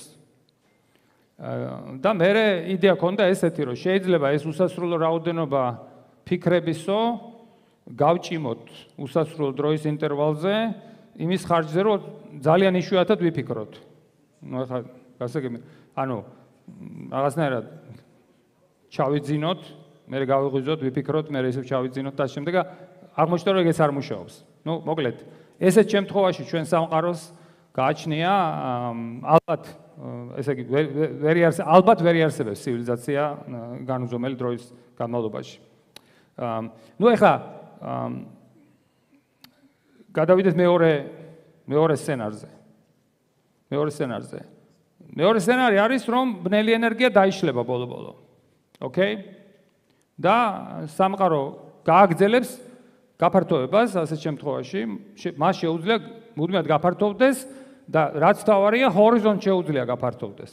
ანუ ჰორიზონტი სულ უფრო და უფრო გაფართოვდება, ჩვენი შთამომავლები დაინახავენ სულ უფრო და უფრო ახალ სამყაროს ახალ უბნებს. და ეს გაფართოება შეიძლება მოხდეს უსასრულოდ, უსასრულოდ გაიზარდოს ჰორიზონტი, უსასრულოდ გაიზარდოს ის უბნები, რომლებიც ჩვენს ჰორიზონტში შემოვლენ. ну ეს გაცილებით უფრო მხიარული პროსპექტია ჩვენი სამყაროსთვის და ეხლა მე მინდა ვთქვა რომ არსებობს ძალიან ძლიერი არგუმენტები რომ ესე უნდა იყოს. ანუ ის რაც ჩვენ დღეს ვიცით გრავიტაციაზე გვეუბნება რომ ეს არის სცენარი. ანუ ბნელი ენერგიას არ შეუძლია მუდმივად არსებობა აუცილებლად უნდა დაიშალოს და საბოლოო ჯამში ჩვენი სამყაროს ესე იგი ჰორიზონტი აქვს შანსი რომ უსასრულოდ გაიზარდოს მოკლედ აუხსნი ახლა მოკლედ რატო არის ეს და შემდეგ კიდე ერთ რაღაცას ვიტყვი და შემდეგ თუ კითხები იქნება გავცემ პასუხს. ესე იგი რატო ხდება ეს ამბავი? საიდან ვიცით, რომ ესე უნდა მოხდეს? აა ფრეიმვორკი, მე რომელიც თქვი, ჩვენი ფრეიმვორკი, რომელიც ჩვენ ვიცით, აი ეს რაც არის ფრეიმვორკი გვეუბნება, რომ ესე უნდა მოხდეს. აი შეხედეთ ესეთი მომენტია. ანუ ფრეიმვორკი, ანუ კვანტური გრავიტაციის თეორია გვეუბნება, რომ ესე უნდა მოხდეს. ეხლა კვანტური, ეხლა მე რა თქმა უნდა მე აქ არჩევალ კვანტურ ფიზიკაში და ასე ასეთ ამბებში, საერთოდ კვანტური სამყარო არის კვანტური, ბუნება არის კვანტური.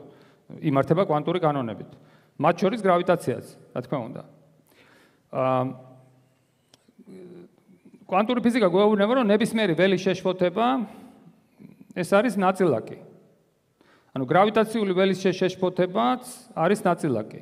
ეს ეგრეთ წოდებული გრავიტონი.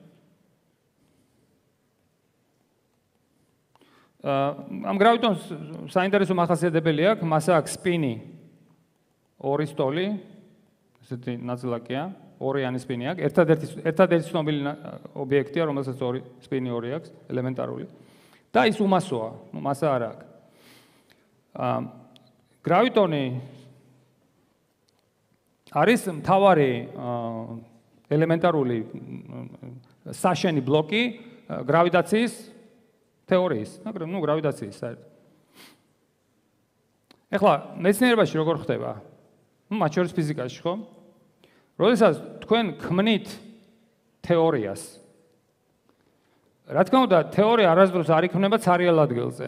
თეორია ითვალისწინებს უზარმაზარ გამოცდილებას წინამორბედების. რა თქმა უნდა, ითვალისწინებს რა მიმუშავა, რა არ იმუშავა, რა არის თავსებადი დაკვირვებასთან, რა არ არის თავსებადი და ასე შემდეგ, ხო? და შემდეგ ხდება ამ თეორიის ფორმულირება. თეორიას თეორიის ფორმულირებას აქვს ორი ეტაპი. ესე იგი, პირველი, რომ მე თეორია უნდა განვმარტო და შემდეგ ეს თეორია რაღაცაში უნდა გამოვიყენო. ანუ მაგალითად ჩავატარო დათვლები ამ თეორიაში, რაღაცა გამოვითვალო, ხო? საკითხი არის განმარტება. ხო, ანუ გასაგებია, ხო? ესე იგი ვერანაირ გამოთვლებს მე ვერ ვერ ჩავატარებ თუ არ ვიცი სადა ვარ, ხო? ესე იგი პირველი არის რომ უნდა მქონდეს განმარტებული. აა შესაბამისად, თეორიის განმარტება ყოველთვის უნდა იყოს ზუსტი. გამიგეთ? გამოთვლები შეგიძლია ჩაატაროთ მიახლოებით. მას შემდეგ რაც თქვენ ზუსტად განმარტავთ თეორიას, შემდეგ გამოთვლები მიახლოებით შეგიძლია ჩაატაროთ. მაგრამ თეორია არ შეიძლება იყოს მიახლოებითად განმარტებული. ოკეი? ეხლა როგორ როგორ არის გრავიტაციის კვანტური თეორია განმარტებული? დღეს დღეისობით ჩვენ ერთადერთი განმარტება, რაც გაგვაჩნია კვანტური გრავიტაციის და ძალიან ძალიან ძლიერი არგუმენტებია მის სასარგებლოდ, ალბათ ეს არის ერთადერთი.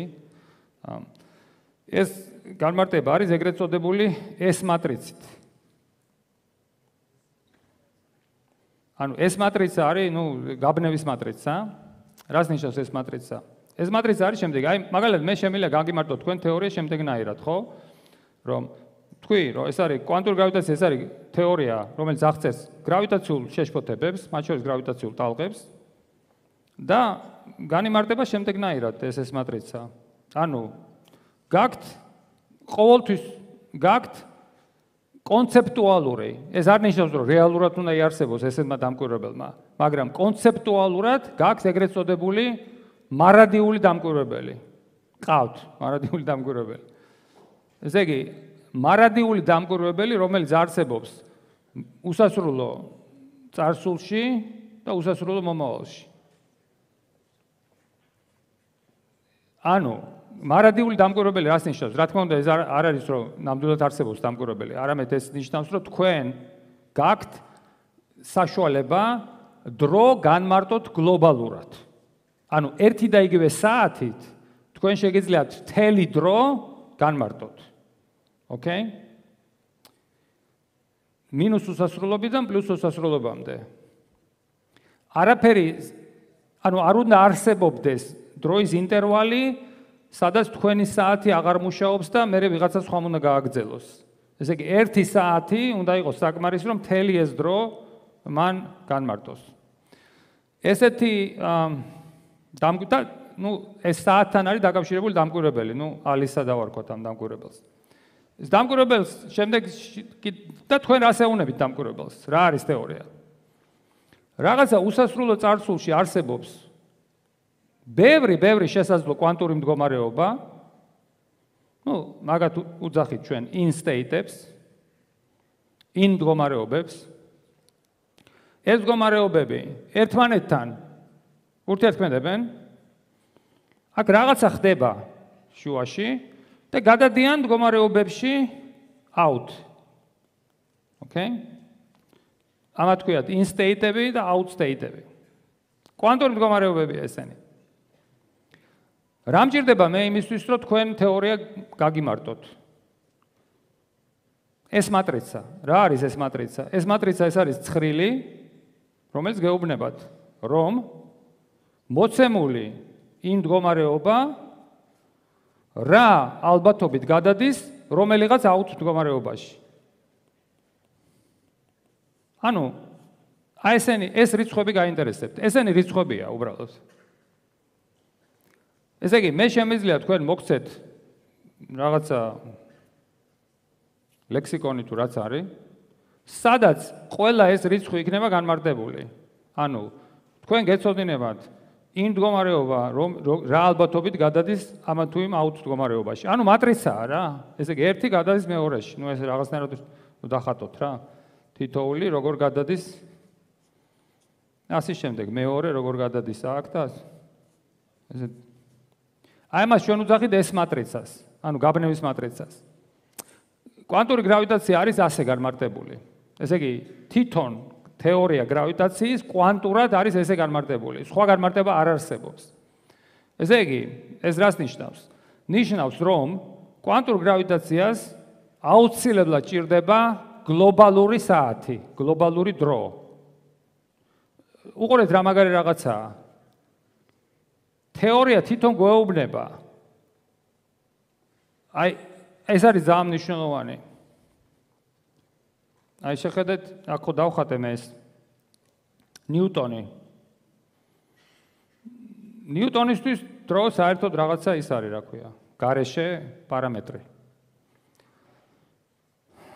აინშტაინის ფარდობითობის თეორიაში აინშტაინი გეუბნებათ, რომ ნებისმიერი ტიპის გეომეტრიას თითქმის ნებისმიერი ტიპის გეომეტრიას არსებობის უფლება აქვს. ოკეი? და აინშტაინის ფარდობითობის თეორიაში თქვენ შეიძლება გქონდეთ გეომეტრია, რომელიც მოდის, თქვათ, ბნელი ენერგიიდან, სხვანაირი გეომეტრია ამ შემდეგ. აინშტაინის ფარდობითობის თეორიას არ ადარდებს, რომ დრო იყოს გლობალურად განმარტებული. მაგრამ კვანტურ გრავიტაციას ადარდებს. ვინაიდან კვანტური გრავიტაცია არის გაცილებით უფრო ძლიერი თეორია, ყოველთვის ძლიერი თეორია არის გაცილებით უფრო შემზღუდავი. რაც უფრო ძლიერია თეორია, მით მეტი შეზღუდვები აქვს. შესაბამისად, კვანტური გრავიტაცია გვეუბნება, რომ უკაცრავად ყველა ის გეომეტრია, რომელიც თქვენ შეგიძლიათ ტიპოვოთ აინშტაინის კანტოლებების ამოხსნით არ ვარგა. მარტო ისინი ვარგა, სადაც დრო არ გლობალური დრო არსებობს. ეხლა რატო არის ეს მნიშვნელოვანი? იმიტომ რომ ეს პირდაპირ კლავს აი ამ შესაძლებლობას. იმიტომ რომ იმიტომ რომ ბნელი ენერგია რომ იყოს მუდმივი, ან რაღაცა მუდმივზე გავიდეს, გლობალური დრო ვერ იარსებებდა. აი ხო ვთქვით, ესე იგი მაგ სცენარში რა მოხდებოდა? მოხდებოდა რომ ჩვენ ასიმპტოტურად ჩავიკეტებოდით ჩვენ ჰორიზონტში ნებისმიერი ობიექტი ამ ჩვენი ჰორიზონტის გარეთ იქნებოდა ჩვენგან ჩვენთან არ იქნებოდა მიზეს შედეგობრივ კავშირში. ასეთ სამყაროში შეუძლებელია გლობალური დროის არსებობა. იმიტომ რომ ნებისმიერ დამკვირვებელს თავის ჰორიზონტის შიგნით და ჰორიზონტის გარეთ ყველა დამკვირვებელს თავისი საათი აქვს. ეხლა რატომ მომყავს მე ეს მაგალითი? იმიტომ რომ ეს ასევე დემონსტრირებს რამდენად ძლიერია, ну, მეცნიერება და ну, ფიზიკა, იმიტომ რომ თითქოს რაღაცა აი თითქოს რაღაცა არაფრისგან და რაღაცა ძალიან შეზღუდული მონაცემებიდან ჩვენ შეგვიძლია გამოვრიცხოთ უზარმაზარი რაოდენობა სამყაროს ევოლუციის მომავალში. ანუ დაგშვა ეს ვარიანტი, რომ ბნელი ენერგია უნდა დაიშალოს. ეხლა, რა თქმა უნდა, ეს პროპოზალი, ეს პროპოზალი, რომ ეს წავიდა, ძალიან რა თქმა უნდა, მეცნიერება ესე ესე ყოველთვის ესეა. უამრავი ადამიანი რაღაცნაირად შეეჩვევა აზრს, რომ ბნელი ენერგია ნუ არსებობს და ალბათ მუდმივია და შემდეგ ამაზე აგებს უამრავ თეორიებს. პოპულარული ციგნები დაიწერა. საერთოდ მაგალითად აი ამ მიმართულებით, ცდარი მიმართულებით, რომელიც ცდარია, ხო? აა საერთოდ ადამიანებმა დაიწყეს ფიქრი აი და რომ მოვიყვანო მაგალითი, ასე თქვა, ცდარი, როგორ თქვა რა? ну მეცნიერების ტრიუმფია ფაქტიურად მაგრამ მაინც აი როგორ შეიძლება შეცდომიდან ადამიანებმა დაიწყეს ესე ფიქრი რომ ბნელი ენერგია კი ბატონო ჩვენს რახან არსებობს და არ არის ასე იგი შეიძლება იყოს უამრავი სამყაროები რაღაც ხანდახან მაგას მალტივერსსაც უძახიან რომ შეიძლება იყოს უამრავი სამყაროები და სხვადასხვა რაოდენობა სხვადასხვა ტიპის ბნელი ენერგიით. მაგალითად ერთი იყოს რაღაცა ლამდა 1 მეორე იყოს რაღაცა ლამდა 2 მესამე ლამდა 3 და ასე შემდეგ. უსასრულო რაოდენობა ესეთი რეგიონების სადაც ყველგან თავთავიანთი ბნელი ენერგიაა ეს ბნელი ენერგია იქ რაღაცნაირად ქმნის ლოკალურ ფიზიკას და უი რა კარგია ესეთი ტიპის სამყარო? იმიტომ რომ ასეთ სამყაროში ყველაფერი შეიძლება აიხსნას ანთროპულ ანთროპულად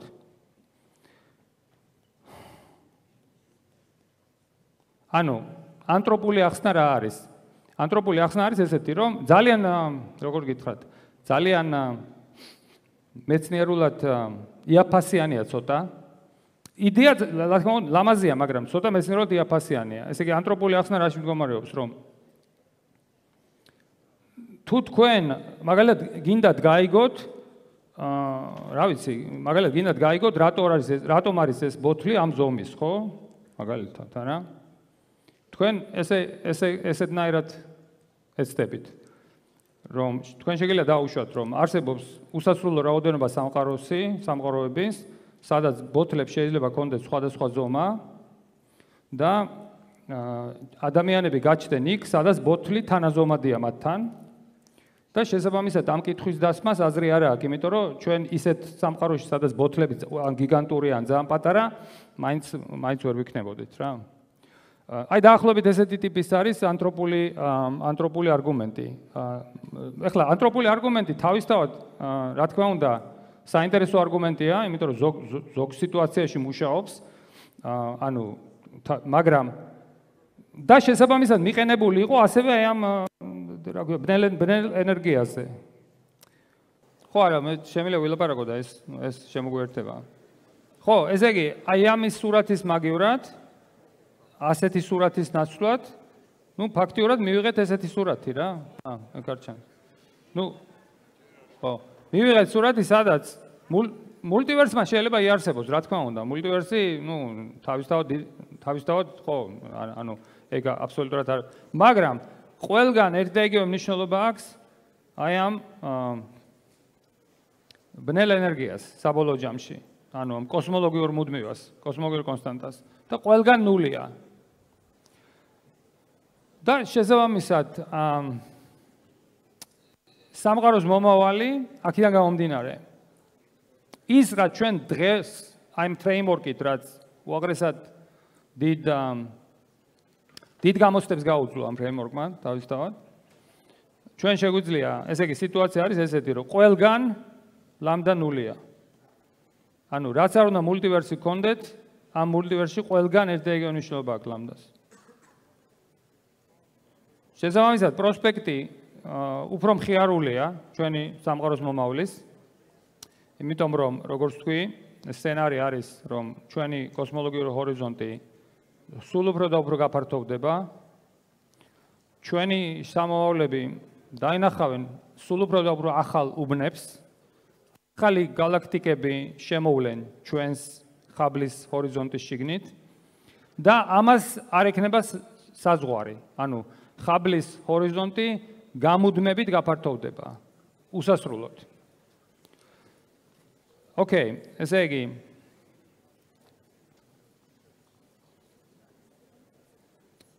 ეხლა რო ასე ვთქვათ რომ დავაჯამოთ რა თქმა უნდა ესეთ ესეთ სამყაროშიც სადაც ჩვენ ვიქნებით უფრო მხიარულად იმ თვალსაზრისით რომ სულ უფრო და უფრო მეტი აა მეგობარი შემოგვიერთდება გარედან ხაბლის გარედან აა რა თქმა უნდა ეს უფრო ოპტიმისტური ის არის, რა ქვია, პროსპექტი ჩვენთვის. აა მაგრამ რა თქმა უნდა ასეთ სამყაროში ზარსებობს უამრავი კითხვები. იმასთან დაკავშირებით ჩვენ ცივილიზაციას, ну, რაბედი ელის, არა მარტო ჩვენ ცივილიზაციას, მაინც და მაინც ჩვენზე არ არის საუბარი. საერთოდ ცივილიზაციას, ანუ მოაზროვნე არსებებმა ასეთ დროს მათ რა თქმა უნდა, გაცილებით მეტი აქვს შანსი, რომ ასიმპტოტურად უსასრულო მომავალში გადარჩნენ, მაგრამ ну, შეძლებენ თუ არა უსასრულო არსებობას. ესეთი ტიპის სამყაროში. ну, რა თქმა უნდა, ესეთი იქ აქ უკვე ძალიან საინტერესო კითხვებია. რა შეგვიძლია წარმოვიდგინოთ უამრავი სცენარი. რა თქმა უნდა, ასეთი ტიპის სამყაროში გარედან შემოდიან galaktikები თუ არა, გულხელდაკრეფილი თუ იჯდა ჩვენი ცივილიზაცია თუ ნებისმიერი სხვა ცივილიზაცია და არ განიბნა სამყაროში, ну, მაშინ მაშინ თავის მომავალს ვერაფერ გამოჭედავს, ასე ვთქვათ. აუცილებელი იქნება გაბნება, ანუ გაფართოება იმ არეალის, სადაც ეს ცივილიზაცია არსებობს, ნუ უსასრულოდ, იმიტომ რომ რა თქმა უნდა ახალი რესურსები შემოდის ჰორიზონტის შიგნით, მაგრამ იმ რესურსებს ათვისება ჭირდება. ნუ რა აქ რა თქმა უნდა მთელი წება ტექნიკური საკითხების არის გადაადგილების სისტრაფე, სიჩქარე და ასე შემდეგ. არა, ეგ უკვე სხვა ლექსიის თემა. და ნუ რაც შეეხება აი ჩვენი მიერ აი ამ კავშირს, ვისი ვისი მოყოლაც მინდოდა მე, რომ ეს არის კავშირი ფუნდამენტურ ფიზიკას, ანუ ფიზიკას, რომელიც ოპერირებს უმოკლეს მანძილებზე და ფუნდამენტურ ელემენტარულ ნაწილაკებში დემონსტრირება მინდოდა თუ რამ რამხელა პოტენციალი გააჩნია იმისთვის რომ ეს მაკროსტრუქტურები იწინასწარ მეტყველოს. და სამყაროს გაფართოებადი სამყაროს მომავალი. ამ მე ამ ლექსიაში არაფერი არ მithქვია სამყაროს царსულზე. უბრალოდ ერთი სიტყვით ვიტყვი რომ ჩვენ ასევე არსებობს ძალიან საკმაოდ ძლიერი მტკიცებულებები იმის, რომ ჩვენ ასევე მოვდივართ ეპოქიდან, მაგრამ ეს მოხდა ძალიან ადრეულ სამყაროში. ალბათ მაშინ ხაბლის ზომა, აი ეს ხაბლის რადიუსი რო დავწერე, მაშინ იყო დაახლოებით 10 ხარისხად -27 სანტიმეტრი. წარმოიდგინეთ, რამხელა პატარა ზომაზეა საუბარი. ეს არის, რა ვიცი, თვალით კი არა, ესე იგი პროტონი რო გაყოთ მილიარდჯერ, მილიარდჯერ, მილიარდჯერ. აი ესეთი უბნიდან, აი ესეთი პატარა უბნიდან მოვდივართ მთელი ჩვენი დღევანდელი ხილული სამყარო. ზუსტად იმის ხარჯზე რომ იმ დროინდელი სამყაროც იყო ბნელი მატერიის მიერ დომინირებული, მაგუგაცრავად, ბნელი ენერგიის მიერ დომინირებული. ანუ ბნელი ენერგია ადრეულ სამყაროშიც არსებობდა, გაცილებით უფრო მეტად წარმოდგენილი და იმ ბნელი ენერგიის ანტიგრავიტაციამ გააფართოვა სამყარო აი პატარა უჯრედიდან დღევანდელ ზომებამდე. დღევანდელი ზომებამდე. და შემდეგ ის ბნელი ენერგია დაიშალა. ანუ ესე იგი ეტაპი გვაქვს ესეთი. ქონდა საწყისი სიტუაცია, როდესაც ქონდა ბნელი ენერგია, რაღაცა ძალიან პატარა დროის განმავლობაში პატარა დროზე, ну დღევანდელი დრო სადღაც აქ არის ხავლის. აქ ქონდა ძალიან დიდი ბნელი ენერგია, სადღაც აქ ვიყავით. ის დაიშალა და დღეს აქ გვაქვს შედარებით პატარა ბნელი ენერგია. ანუ რაღაც ესეთი განიცადა. მაგრამ როგორც ვთქვი, ანუ ის ჩვენ ის რა ჩვენ ვიცით ამ კვანტურ გრავიტაციას გრავიტაციაზე, გვეუბნება რომ ეს ბნელი ენერგია უნდა დაიშალოს საბოლოო ჯამში. საბოლოო ჯამში ასიმპტოტურად უნდა მივიდეთ არაფერზე, ნულოვან ბნელ ენერგიაზე, მხოლოდ ჩვეულებრივი ენერგიის აა წყაროები იქნება, როგორც მატერია და რადიაცია და ასე შემდეგ. აი ესეთი პროგნოზი გვაქვს აი ამ მონაცემებიდან, რაც ჩვენ ვიცით. მე ამით დავამთავრებ და თუ რამე კითხვებია, რა თქმა უნდა, შეამონებით უპასუხებ.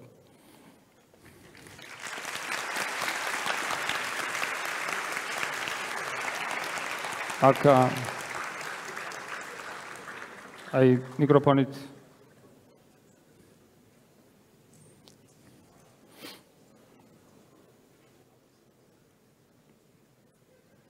დიდი ბოდიში იმედია მეთქმის სიტყვა მიუხედავად იმისა რომ აკადემიური სივრცეა მღვდელი ვარ და რადგან ასევე ბიბლიური თხრობა აღმოჩნდა ძალიან წინასწარმეტყველური იმ გაგებით რომ სამყარო არაფლისაგან შეიქმნა და ამდაგვარ კოსმოლოგიურ მოდელს არც ერთი სხვა არც მითოსური ან სხვა რელიგიური კონცეფციები არ გვაწვდიდნენ, იმიტომ რომ იქ იყო რაღაც ქაოსი, დემიურგი, რაღაც და აქ სრულად ბიბლიური მოდელი, ესე ვთქვათ, დაემთხვა აი ამ დიდი აფეთქების თეორიას, რომ არაფლისაგან დაახლოებით ხო შეიქმნა სამყარო, იმიტომ რომ ის პირველი პატარა წერტილი ყველაზე ჯიუტი ათეისტებიც კი ამბობენ, რომ დავთმოთ ჩვენს ათეიზმს, თუ კი გავიგებთ, საიდან მოვიდა ეს ერთი პატარა დოკინზი, რაღაც პირობას დებს, რომ თუ გაიგებს, საიდან მოვიდა ეს პირველი წერტილი, ამაში გაცვლის თავის ათეიზმს, ასე ვთქვათ, ხო და რადგან ბიბლიამ ეს იწინასწარმეტ ყველასავით, ხო, თუ შეიძლება ესე ვთქვათ, ახლა მინდა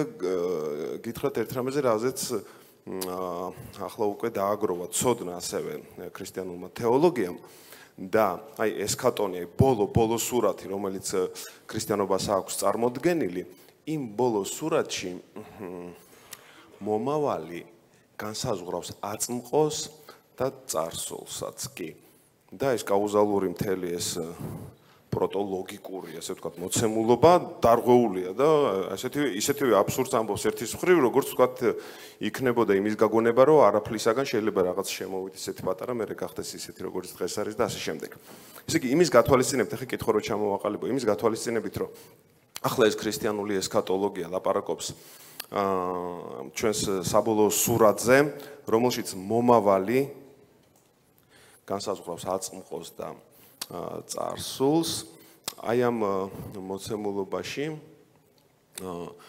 როგორ შეიძლება რომ დავინახოთ, ესე იგი ეს რამდენად აუცილებელია, რომ რადგან ბნელი ენერგიის მუდმივობაო ამ კაუზალობას ესე ვთქვათ, ამოვარდნილიაო აი მზე შედეგობრიობიდანო. თუ ამას გავითვალისწინებთ, რომ ესეც სურათი შეიძლება გქონდეს ბოლოში, ხო შეიძლება რომ ვიფიქროთ, რომ აი ბნელი ენერგიის მუდმივობის შემთხვევაში ძალიან მხიარული სურათი გვექნება. როგორ სურათი გვექნება უგეს რა? მხიარული, როგორც თქვენ დაარქვით იმ ეს თუ ანუ კითხვა არის თუ ბნელი ენერგია ეს ვარიანტია? აა აი ეს პირველი რომელიც ყოფილია. ხო, ну ვარიანტი როდესაც ბნელი ენერგია მუდმივია. ხო, გადის რაღაც მუდმივაზე? დიახ.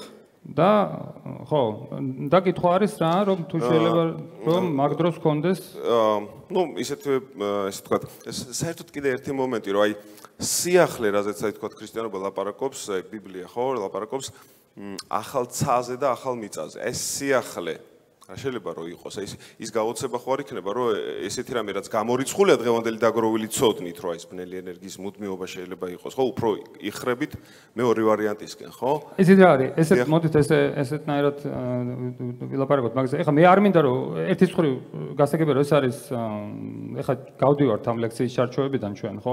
ეს არის ლექცია თავიდან ბოლომდე მე მხოლოდ მეცნიერულ კონცეფციაზე დაფუძნებული. დიახ მაგრამ ნუ მეორე ხრი ახლა არ ეს ასე ვთქვათ რაღაცა შევეცდები რომ მაინც რაღაც ასე ვთქვათ ის შემოვიტანო ცოტა სიცხადე. ესე იგი უბრალოდ ხოლმე მე არ მილაპარაკი ამ ლექციაში სამყაროს წარმოშობაზე არაფრისგან ეს ეს ეს არ მილაპარაკია მე მილაპარაკე აი ეს საწყისი ეს ეს არ არის ჯერ კიდევ არაფერი ეს არის სამყარო, რომელიც ზომით ძალიან პატარაა, მაგრამ არაფერი არაფერის კონცეფციას ეს არ არ არ ესადაგება. ეს არის ზომით ძალიან პატარა ბნელი ენერგიის მიერ დომინირებული სამყარო. აი იქიდან წარმოშობაზე ვილაპარაკე. ეხლა თავისთავად ეს კონცეფცია სამყაროს წარმოშობა არაფრისგან ძალიან საინტერესო კონცეფციაა. ეს მაგრამ ჯერჯერობით ეს არის მხოლოდ კონცეფცია. ანუ ეს არ არის მეცნიერული თეორია ჩამოყალიბებული. აა იქ მეცნიერულ დონეზე რაღაცეების დათვლა ჩვენ შეგვიძლია. აა მაგრამ კიდევ ვიძახი მეცნიერებას აქვს თავისი ძალიან მკაცრად განსაზღვრული ჩარჩო და როდესაც მე მაგალითად რაღაც ვიზახი რომ სამყარო წარმოიშვა დაუშვათ არაფრისგან იმ არაფერსაც აქვს ძალიან მკაცრი განმარტება გასაგებია ხო? ესე იგი და შესაბამისად ვინაიდან ეს არის მეცნიერული ლექცია მე ვცდილობ რომ ძალიან ფრთხილად ვიყო რომ არ არ შევიყვანო შეცდომაში ვინმე არ აქვს მნიშვნელობა ეს რელიგიური მხარე იქნება თუ ასე შემდეგ იმიტომ რომ მეცნიერება ამ შემთხვევაში ჩვენ ოპერირებთ ძალიან კაცრად განმარტებული კონცეფციებით და კაცრად განმარტებული ნუ იდეებით და ცნებებით. ეხლა ის რაც შეეხება რამდენად ესე იგი თანხდენაშია ეს გაფართოებადი სამყაროს მოდელი სხვადასხვა რელიგიურ მოძღვრებებთან და ასე შემდეგ. ამაზე რა თქმა უნდა მიდის მიდის ლაპარაკი. ნუ მე გითხარით რომ ეს ერთ-ერთი შემქმნელი ამ გაფართოებადი სამყაროს მოდელის ეს იყო ლემეტრი, რომელიც იყო კათოლიკე მღვდელი. და 2016 წელი იყო გონი კონფერენციაც იყო მიწუნილი მაგის მიმართ ვატიკანში იქ ვიყავი მოხსენებით და ამ შემდეგ. მაგრამ ეს ეს რა თქმა უნდა ეს ეს მიდის ეს ეს ესეთი ტიპის დისკუსიები და ესეთი ტიპის აზრების გაცვლა მიდის რამდენად ანუ ეს თანხდენაშია თქვა რელიგიურ ცნებებთან და ასე შემდეგ. მაგრამ ეგ ეგ ცალკე თემა არის და ხო გესმით როგორ არის? ახლა ნებისმიერი რაღაცა მცდელობა რომ ეხლა მე რო თქვა რომ აჰა აი ეს ბნელი ენერგია და ეხლა ეს ამის გამო ეს ადასტურებს რომელიმე რელიგიურ მოძღვრებას. ეგ არ უბრალოდ იქნება არასწორი და ეს იქნება ვინმის შეცდომაში შეყვანა. მეცნიერება თავისთავად ოპერირებს მეცნიერული მეთოდით. იმის მეცნიერების თელი სიძლიერე მაგაში მდგომარეობს, რომ ის არ ცდება მეცნიერულ მეთოდს. და შესაბამისად, იმ ცნებებზე, რაზეც აქ საუბარია, ჩვენ შეგვიძლია ყოველთვის შევთანხმდეთ, მიუხედავად იმისა, ჩვენ ჩვენი ტრანსცენდენტული მხარე და რელიგიური მხარე როგორია, იმიტომ რომ მე უამრავი კოლეგა მყავს, ვისაც სხვადასხვა რელიგიური ბექგრაუნდიდან მოდის, ზოგი ათეისტია, ზოგი ზოგი რელიგიურია თავის მოძღვრებით, ზოგი ობსერვანტიც კი არის, მაგრამ თელი სიძლიერე მეცნიერების ზუსტად ეგ არის რომ მე ჩვენ შეგვიძლია მეცნიერებაზე ვილაპარაკოთ აი ამ ტრანსცენდენტული მხარის გარეშე. ანუ აი ეს არის ძალიან მნიშვნელოვანი და ამიტომ ხო ხო რა ვიცი ეს რამდენად სემს თქვენ თქვენ კითხავთ პასუხს მაგრამ ეს ძალიან მნიშვნელოვანი ამის გათვალისწინება. გამარჯობათ. დიახ. აა დღეს ჩვენ ძალიან ბევრ საინტერესო საკითხს შევეხეთ და ბატონო დღეს ჩვენ ძალიან ბევრ საინტერესო საკითხს შევეხეთ და დიახ. მაგიდან პირადად მე და მაინტერესა ბნელი ენერგიის და ბნელი მატერიის ვინაობა. რატომ არის რომ ჩვენ ვერ ვამჩნევთ მათ? რატომ ის არის ურთქმედ ურთიერთქმედებს ჩვენთან? რატომ არის ის ბნელი? დიახ, დიახ. ხო, ძალიან საინტერესო კითხვაა. რატო ვერ ვამჩნევთ ჩვენ ბნელ ენერგიას? ოკეი? აა, როდესაც მაგითხვას ვსვავთ არა, რატო ვერ ვამჩნევთ ბნელ ენერგიას? რა თქმა უნდა, ჩვენ გულისხმობთ ყოველდღიურობაში. ანუ ყოველდღიურობაში რატო ვარ ვერ ვამშნევთ ბნელ ენერგიას. შემდეგი მიზეზის გამო, რომ ბნელი ენერგია ეს არის კუმულატიური ეფექტი. ანუ ესე შეგიძლიათ წარმოიდგინოთ, აი ჩვენ ცხოვრობთ ბნელი ენერგიის ზღვაში. აი ზღვა წარმოიდგინეთ. მაგრამ ეს ზღვა იმდენად მეჩხერია, რომ კონკრეტულ მანძილებზე ჩვენ მას ვერ ვამჩნევთ. აი მაგალითად, მაგალითად ავიღოთ მზის სისტემა, ხო? აი მზე არის თქვა ცენტში და ნუ ცენტშია თუსაც არის და ნუ დედამიწა მის გარშემო მოძრაობს, ხო? ეხლა ხო შეგვიძლია თქვენ დასვათ საკითხი, რამდენად აშფოთებს ბნელი ენერგია აი ამ ორბიტას, ზის ორბიტას.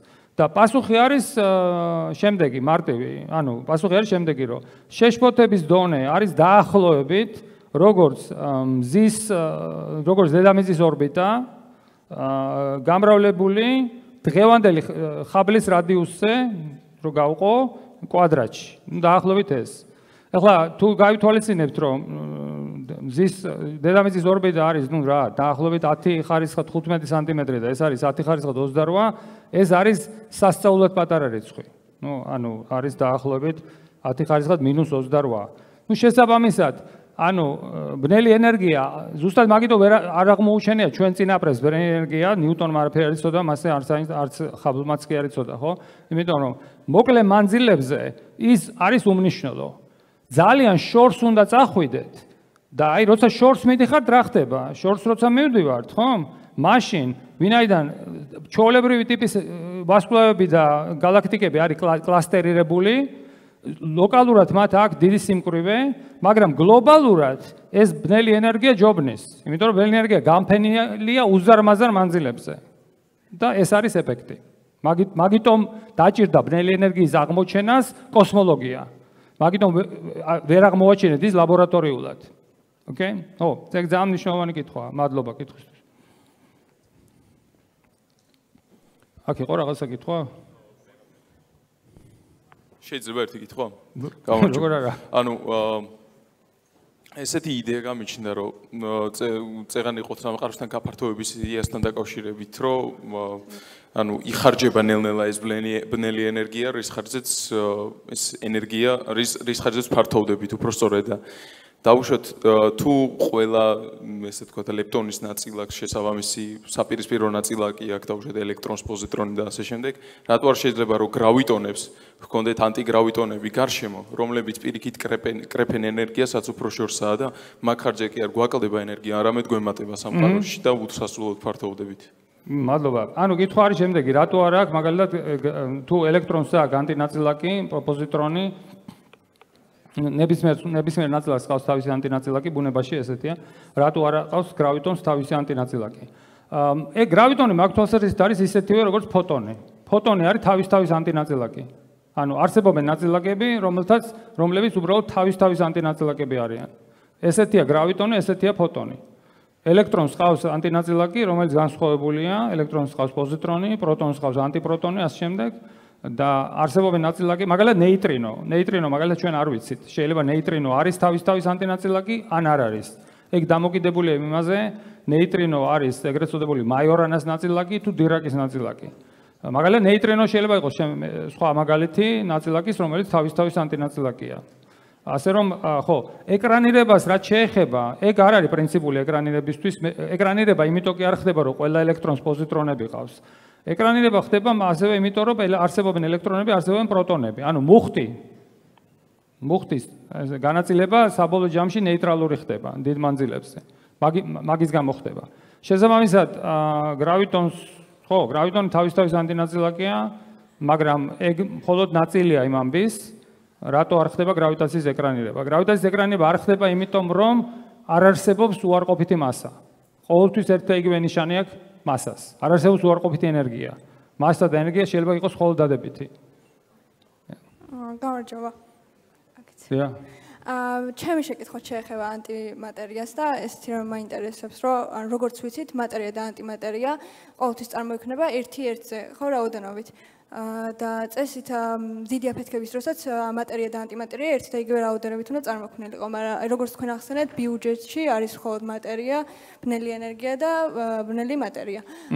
და რატომ ვერ ვაკვირდებით მაშინ ანტიმატერიას, ანუ რითი აჯობა მატერია ანტიმატერიას რაოდენობით? დიახ, დიდი მადლობა ძალიან. ესე იგი, კითხვა არის ანტიმატერიის და მატერიის თანაფარდობაზე, რაოდენობაზე. მე როდესაც ვთქვი, რომ სამყაროს ბიუჯეტი არის მატერია, მე არ მიგულისხმია მატერიაში არ გამიცალკევებია მატერია და ანტიმატერია. სამყაროში შესაძლებელია რომ არსებობდეს ანტიმატერიაც. და ისიც ისე მისი გრავიტაციაც ძალიან მსგავსი იქნებოდა მატერიის გრავიტაციის. მაგრამ ეგ მომენტი სამყაროში არსებობს. ეგ არის ერთ-ერთი ასე ვთქვათ, კოსმოლოგიური საერთოდ კოსმოლოგიაში არსებობს ძალიან ესეთი საინტერესო ნუ თავსატეხები. ეს არის ერთ-ერთი თავსატეხი. მაგას ქვია ბარიონული ასიმეტრია. ანუ რას ნიშნავს ბარიონული ასიმეტრია? დაახლოებით ეგ არის, ანუ ჩვენ ძირითადად შევდგებით იმისგან, რასაც ჩვენ უძახით მატერიას, ნუ ეგრეთ წოდებულ ბარიონებს, აი ჩვენი ბირთვები არის ბარიონები. და ანტიბარიონები უახლოეს გარემოცვაში და ანუ სამყაროში ვერ ვხედავთ ჩვენ ანტიმატერიის კუნძულებს. ოკეი? ასე იგი, ძალიან საკმაოდ დიდი კონფიდენციალობით შეგვიძლია ვთქვათ, რომ დარწმუნებით შეგვიძლია ვთქვათ, რომ სამყარო დომინირებულია ყოველ შემთხვევაში ხილული ნაწილი სამყაროში, აი ეს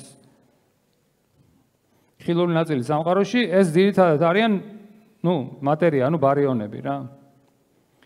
ესე იგი, ეხლა ეს ერთი კითხვაა, მაგრამ ამას გარდა არის მეორე კიდე უფრო საინტერესო კითხვა, რომ სამყაროში ბარიონების რაოდენობას, ბარიონების რაოდენობის შეფარდება ფოტონების რაოდენობასთან არის ძალიან პატარა, ოკეი?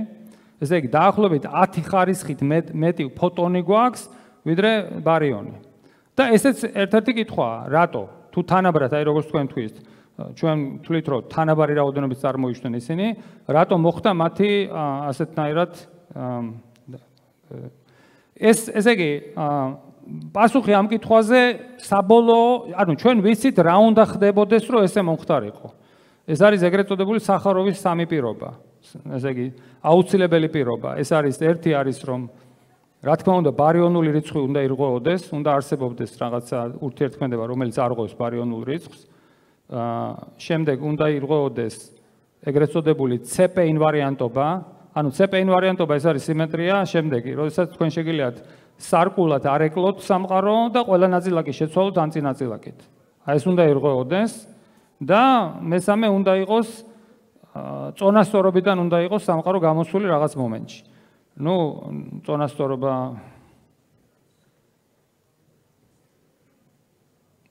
და ეს ეს სამი პირობა კმაყოფილდება ადრეულ სამყაროში. ასე რომ, ბევრი სცენარი არსებობს ამის ახსნის, რატო ხედავთ ჩვენ მხოლოდ მატერიას, რატო ხედავთ მარტო ბარიონებს და რატო არის ბარიონების რაოდენობა გაცილებით პატარა ვიდრე ფოტონების რაოდენობას. ასე რომ, ასე თქვათ, პრინციპული ფუნდამენტური პრობლემა ამის ახსნის არ არ არის. მაგრამ ჩვენ არ ვიცით რომელი ახსნაა სწორი. იმიტომ რომ უამრავი ვარიანტებია ამისი ახსნის და ნუ ხო, არ ვიცით რომელია სწორი. ოკეი? გამარჯობა. პირველ რიგში მადლობა საინტერესო ლექციისთვის. და მაინტერესებს რა შეიძლება თუ არა რომ ბნელი ენერგიის რაოდენობა პირიქით იზრდებოდეს და არ ამცირდებოდეს ან მუდმივი იყოს და საწინააღმდეგო შემთხვევაში თუ განულდება საერთოდ შემცირების შემდეგ რა მოხდება? ძალიან კაი. ძალიან კარგი კითხვაა. კითხვა არის შეიძლება თუ არა რომ ბნელი ენერგია ესე დროის მიხედვით ესე ეხლა რაღაცა და პირიქით იზრდებოდეს, ხო? ხო. ძალიან კარგი კითხვა. მოკლედ, პასუხი არის არა. არ შეიძლება იზრდებოდეს. აა მაგრამ ხო, ესე ძალიან მნიშვნელოვანია. აა ესე იგი აი თეორიის თვითშეთანხმებულობა გვეუბნება რომ ესეთი რამე არის შეუძლებელი. ესე იგი შეუძლებელია რომ ბნელი გაფართოება სამყაროში, ბნელი ენერგიის, ბნელი მატერია, ბნელი ენერგია იზრდებოდეს. ეხლა მე როცა ვიზახი იზრდებოდეს, ნიშნავს გასაშვალოებულად იზრდებოდეს. ეხლა შეიძლება ბნელ ენერგიას მოსდიოდეს ცალკეული კვანტური ნახტომები. აი ეგ შეიძლება. რაღაცა კვანტური განუზღრელობის გამო ბნელი ენერგია ცოტა ცოტა გაიზარდოს დროებით. კვანტურად. რაღაცა რეგიონში, სხვა რეგიონში შემცირდეს. გამიგეთხო? ეს შეიძლება. ანუ ფლუქტუაციებმა შეიძლება იარსებოს, მაგრამ ის რომ გასაშუალოებული ბნელი ენერგია გაიზარდოს, ეს გამოიწვევდა ეგრეთ წოდებული ენერგიის აა პირობებს, დარღვევის პირობების დარღვევას და შესაბამისად ესეთი ტიპის თეორიები არ არის თვითშეთანხმებული. ანუ ესე კიდევ აქაც იგივე გვაქვს რა, თეორიის სიძლიერე გვეუბნება, რომ ნელი ენერგია შეიძლება მხოლოდ ან იყოს მუდმივი, ან დაიშალოს. ძალიან კარგი. გამარჯობა. მე მაინტერესებს თქვენ თქვით რომ განზიდვის გრავიტაცია აქვს მარტო ბნელ ბნელ ენერგიას იმის ხარჯზე რომ აქვს უარყოფითი სიმკვრივე წნევა წნევა დიახ და თუ დაიშალა ანტიენერგია მაშინ ხომ ანუ მარტო მიმზიდავი გრავიტაცია დაგვრჩება და რატო გაფართოვდება და პირიქით არ შეიკუმშება ხო ესე იგი ორი სხვადასხვა რაღაცაა აა სხვადასხვა შორის ხო მოდით მაგას გავცემ პასუხად მე კიდე დავამატებ ერთ რაღაცას ესე იგი უყურეთ გაფართოვება ეს არის მოცემულობა ანუ ეს ვიცით რომ ფართოვდება, აი ესე ვის ზუსტად ისევე ეს ბოთლი რომ გავისროლო, ხო? და დაშორდება დედამიწას, ანუ ეს მოცემულობა გვაქვს, რომ ჩვენ ფართოვდებით. ამას ჩვენ ვერაფერს ვერ მოუხერხებთ. ერთადერთი კითხვა შეგვიძლია დავსვათ, ეს გაფართოება იქნება შენელებული თუ იქნება აჩქარებული? თუ შენელებულია გაფართოება, იქ შემდეგ შეგვიძლია დავსვათ კითხვა, შეიძლება რაღაცა კრიტიკულ ზღვარს მივახციოთ და მე რეკოლაფსი მოგვივიდეს. ეგ ცალკე ამბავია. ეს არის სცენარი, რომ დავხატე აქ სადღაც ზემოთ ერთ-ერთი ეს ტყელი სამყარო და ნუ მოკლედ საათს არის რა. მოკლედ ეს ვარიანტები ხო დავხატე სამი, რომ ეს შეიძლება ესეთი რამე მოუვიდეს სკალარულ ფაქტორს. ანუ გაფართოვდეს და რეკოლას მოვიდეს. ეხლა ჩვენ ხედავთ რომ ჩვენ ცხოვრობთ ესეთ ამ ამ ამ ამ ასე ბრანჩზე, ნუ ამ ბრანჩზე ცხოვრობთ და ნუ შესაბამისად ამ ამ ლექციის პარკლებში მე დაუშვირო ეს აქ ვართ, ოკეი? აა სხვადასხვა სამყარო რომელსაც რეკოლაფსი მოდის, ასევე პრობლემატური იქნება კვანტური გრავიტაციის თვალსაზრისით. შესაბამისად, მანდაც იქა ვართ, რომ კვანტური გრავიტაციაც ალბათ ამას აგდალავს. ოკეი? ხო. ეხლა რა შეეხება უარყოფით წნევას? აა ესე იგი მე ვთვი შემდეგი, რომ თუ ობიექტი არის ლოკალიზებული, ასეთ ობიექტს არ შეიძლება კონდეს უარყოფითი წნევა იმდენი, ყოველ შემთხვევაში იმდენი მაინც, რომ მან ანტიგრავიტაცია გამოიწვიოს. ნუ, როგორც წესი დადებითი აქვთ ამ ასეთ ობიექტებს წნევა. ესე იგი, იმისათვის რომ ობიექტს კონდეს უარყოფითი წნევა, აუცილებელია რომ ის არ იყოს ლოკალიზებადი. ეხლა ესეთი ტიპის ობიექტები არსებობს, ნუ, ძირითადად სამი ტიპის. ესე იგი, ერთი არის ხაზი, აი ხაზური ობიექტი, სიმი, რომელიც არის უსასრულო. ნუ, აი ამათ სახელი აქვს, მაგათ ჩვენ ვეძახით კოსმოსურ სიმებს.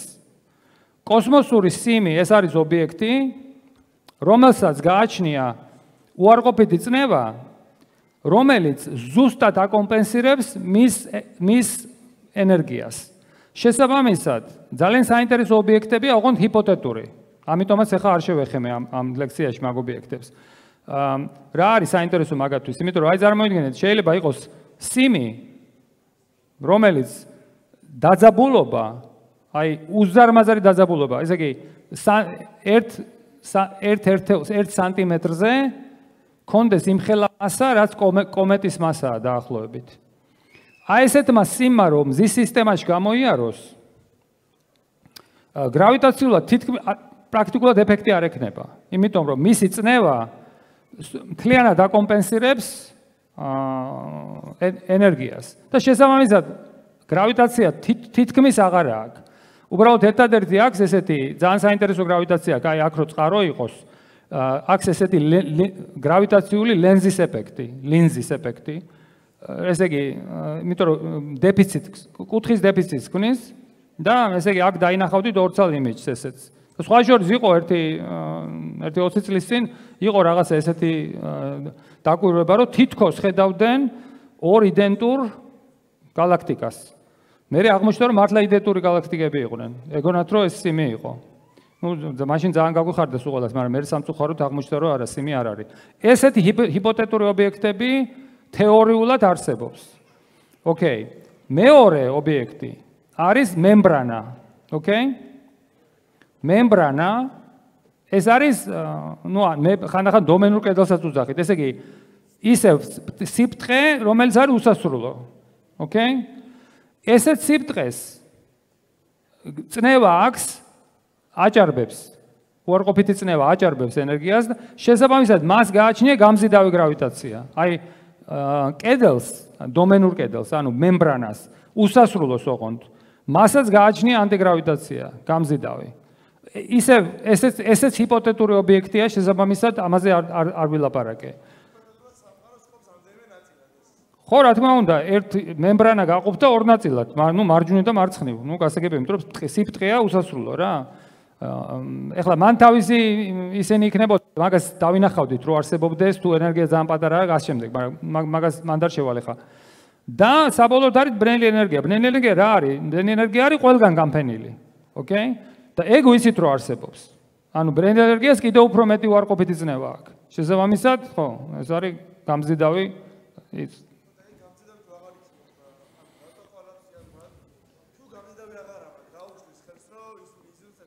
არა, გამზიდ აი ეს იგივე რაც ამ ბოთლზე, ხო? ეს ბოთლი რო გავისროლო ეხა მე, ხო? ვარიანტი რა მაქვს? შეიძლება ეს ბოთლი ავიდეს და ჩავარდეს. ეგ არის ან არასდროს არ ჩამოვარდეს. აუცილებელი ხო არ არის რომ აჩქარდეს. ხო და მას სამყაროც ეგრეა ზუსტად. და გამარჯობა, მაინტერესებს, მოკლედ ვიტყვი, იქიდან გამომდინარე რომ ვიცით რომ C არის ინვარიანტი, ეს ჰორიზონტის გაყინვა რას ნიშნავს კარგად ვერ ხვდები და თუ შეიძლება რომ ბოდიში ვერ ხვდები სად კითხვა სად არის მანდა ხო ოკეი ხო, C რადგანაც არის ინვარიანტი, ვერ ხვდები რას ნიშნავს ჰორიზონტის გაყინვა. ისა, კითხვა არის C თუ არის ინვარიანტი სინათლის სიჩქარე? ხო.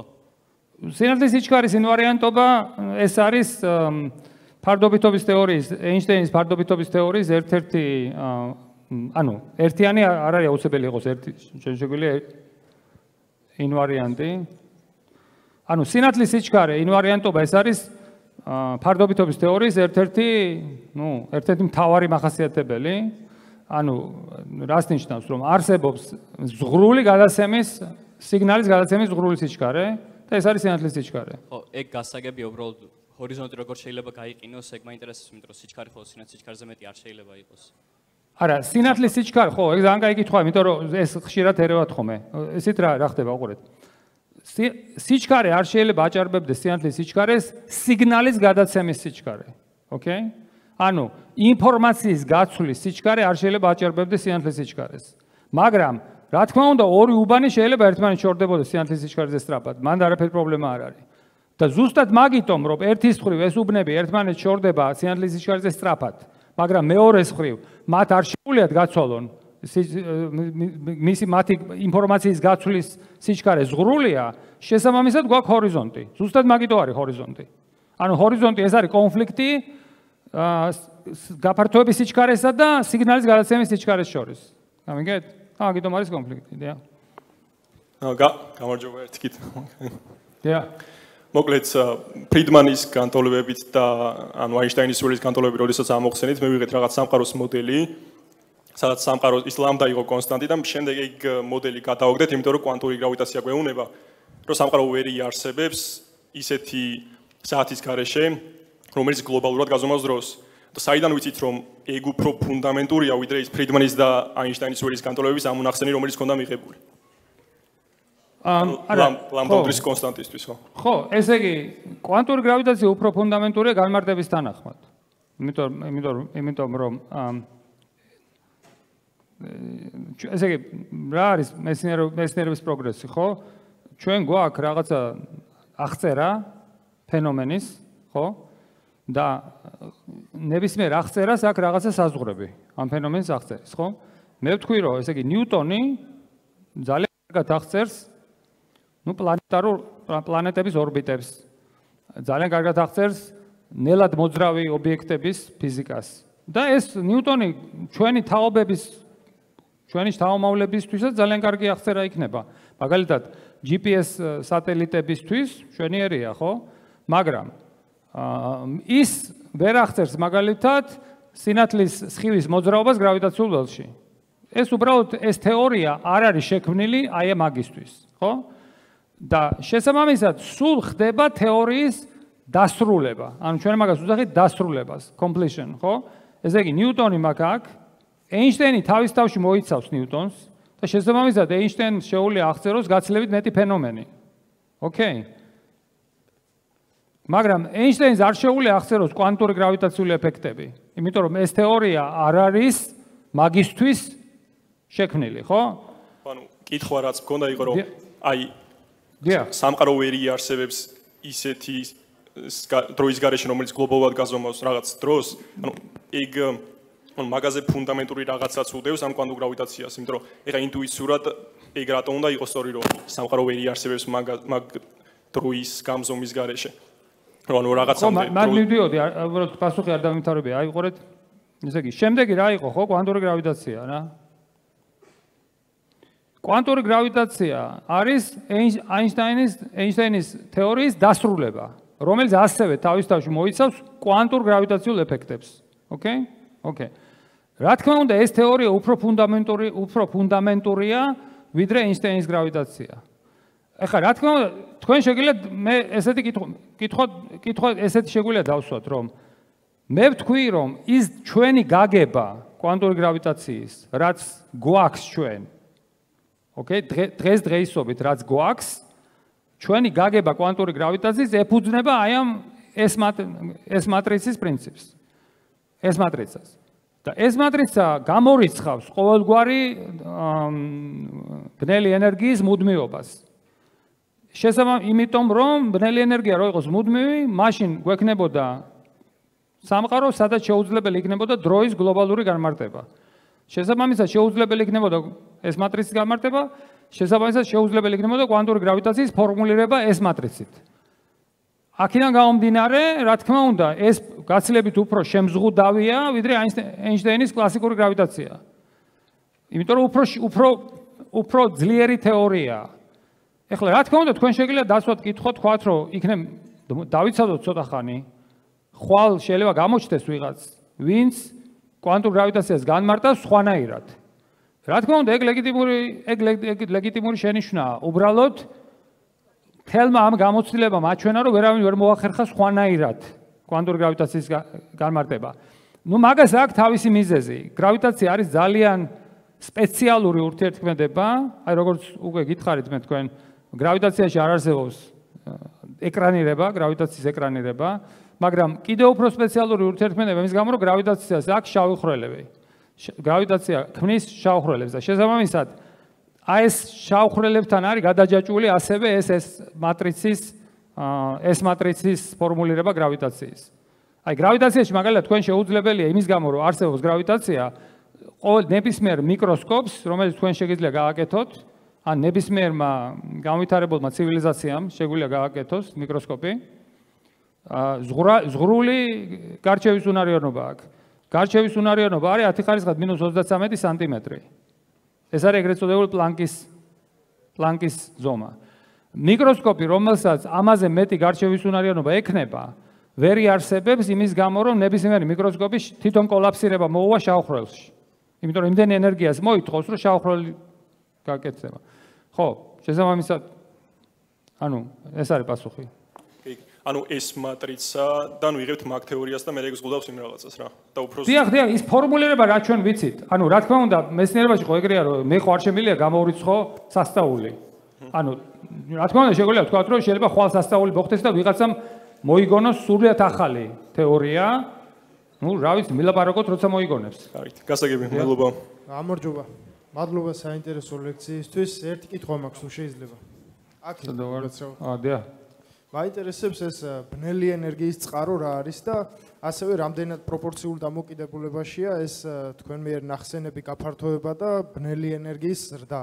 ანუ ჩემი აზრით, რაც უფრო ფართოვდება ეს სამყარო და ეს ნივთიერება, უფრო მეტად ფართოვდება ბნელი ენერგიას და უფრო იზრდება. ანუ ეგ ხაზი რო შემოავლეთ, ეგ მაინტერესებს, ეგ პირობითი ხაზია თუ ეგ ხაზი საერთოდ არ უნდა იყოს და უსასრულობა ეს ბნელი ენერგია. გია ესე იგი ბნელი ენერგია ის ის ფაქტი რომ ბნელი ენერგია არ შეიძლება იყოს მუდმივი და იცვლება დროში ეს ნიშნავს რომ არსებობს რაღაცა ახალი ველი.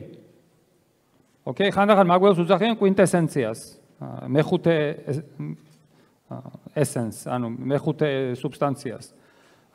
ესე იგი არსებობს რაღაცა ველი რომელიც აკონტროლებს რომელიც არის ამ ბნელი ენერგიის წყარო. ოკეი აა ნუ ეს ველი ასე ვთქვათ ევოლუცირებს დროის მიხედვით და ნუ ნელ-ნელა მცირდება. ანუ ეს ველის ენერგია, ამ ველის ენერგია ფირო დავარქვა მაგველს, ფიაკარი და ეს ველის ენერგია ნელ-ნელა მცირდება. ესე იგი გასაგები, ანუ ეგ ეკვივალენტურია. ანუ ეს ფიზიკის, კვანტური ფიზიკის თვალსაზრისით იგივეა, რაც თქვა რომ ბნელი ენერგია არ არის მუდმივი. ანუ ეს ორი ეკვივალენტური ცნებებია. ხო? ეგ ხო ძალიან კაია რომ გეკითხეთ ესე იგი არსებობს ეს ველი რომელიც ბნელ ენერგიას ცვლის. ეხლა აა რა შეიძლება რა იყო ისა ა ხო ბნელი ენერგია მე კიდე კიდე ვიზახი. ესე იგი ჩვენ მხოლოდ შეგვიძლია ვილაპარაკოთ ხო ეს არის ხაბლის ჰორიზონტი ხო თქვი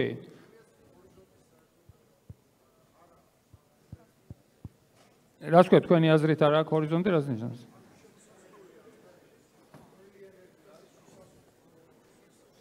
არა, უყურეთ, ყველაფერს აქვს ფიზიკაში აქვს თავისი განმარტება, ხო? ანუ ჰორიზონტი როგორც ჩვენ როგორც გავმარტეთ შესაბამისად ბნელ ენერგიას ჰორიზონტი გააჩნია. ეს არის ფაქტი. ანუ ჰორიზონტი ეს არის იმ ის რადიუსი, რომლის შიგნითაც მე თუ დავსვი ჩემი თავი ცენტრში, მე შემილია ვიყო მიზეჭედეგობრივ კავშირში ობიექტებთან. ამის მიღმა აღარ შემილია ვიყო მიზეჭედეგობრივ ხო და მაგას ვიძახი. ესე იგი, ჯერ დავადგინოთ ეგ ერთი ფაქტი, რომ ეს არის ჰორიზონტი, ეს არის ბნელი ენერგიის მახასიათებელი. ოკეი? და კიდევ ვიძახი, უყურეთ რა ძალიან მნიშვნელოვანია, როდესაც ჩვენ ვლაპარაკობთ მეცნიერულ თეორიაზე, ეს ესე კი არ უნდა გავიგოთ, რომ მაგალითად მე ესე მომეწონა და ეხლა თქვენ ესე შემოგთავაზეთ. ეს არის შედეგი უზარმაზარი რაოდენობა ადამიანების მიერ შემოწმების, გადამოწმების, განტოლებების ამოხსნის და ასე შემდეგ. ანუ შესაბამისად, როცა თუ თქვენ გაქვთ სამ გაფართოებადი სამყარო, რომელიციც ბლენი ენერგია დომინირებს, ჯერერთი ნებისმიერ გაფართოებად სამყაროში არის ჰორიზონტი, ბნელი ენერგიის დომინირება სამყაროშიც არის ჰორიზონტი. ეხლა კითხვა ძალიან კარგი კითხვაა, რა არის ჰორიზონტის მიღმა? ოკეი?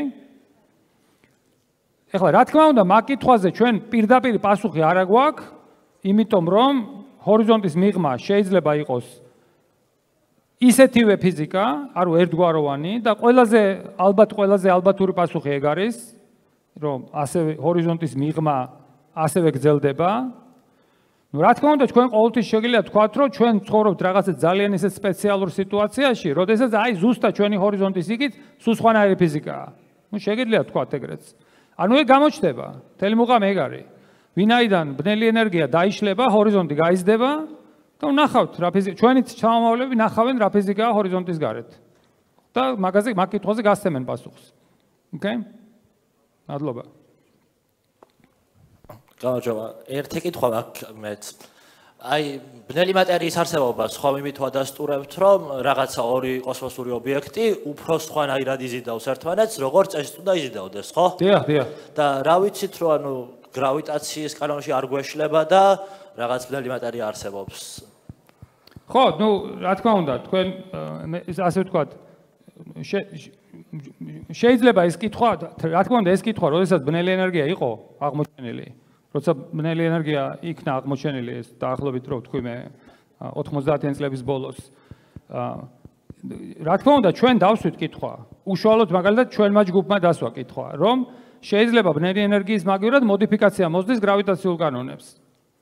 ну ეგ გავლილი ეტაპია მაგაზე მუშაობდით ჩვენ წლების განმავლობაში ну გამოვრიცხეთ ისე და ასე რაღაცა პატარა ვარიანტი არსებობს იმის რომ გრავიტაციის მოდიფიცირებულმა გრავიტაციამ მოგცეს ბნელი ენერგიის წყარო, მაგრამ ნუ იქ შეგიძლიათ ესე სემანტიკაზე დავიდეს ეგ, იმიტომ რომ თქვენ შეგიძლიათ თქვათ, რომ თვითონ თავი თვითონვე გრავიტაცია V არის თავისი ბნელი ენერგიის წყარო. ნუ შეიძლება, ნუ არა არა დამაჯერებლად გამოიყურება დღეს ეგ. ნუ მიუხედავად იმისა, რომ ნუ ასე ვთქვათ, მე პირადად ძალიან ბევრი ენერგია ჩავდე მაგ მაგ მაგ მაგ ჯერგეს კითხვაც დავსვით და მაგ მაგის პასუხში. აა ხო, რა თქმა უნდა, ეხლა ეხლა ამ გადმოსახედიდან 20 წლის მერე თითქოს ჩანს რომ გრავიტაციის გარეშე ბნელი ენერგია არის, რაც აკეთებს ამ საქმეს. დიახ.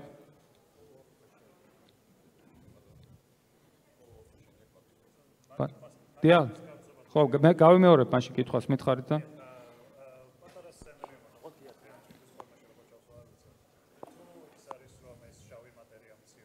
შავი ბნელი ენერგია ბნელი ენერგია ხო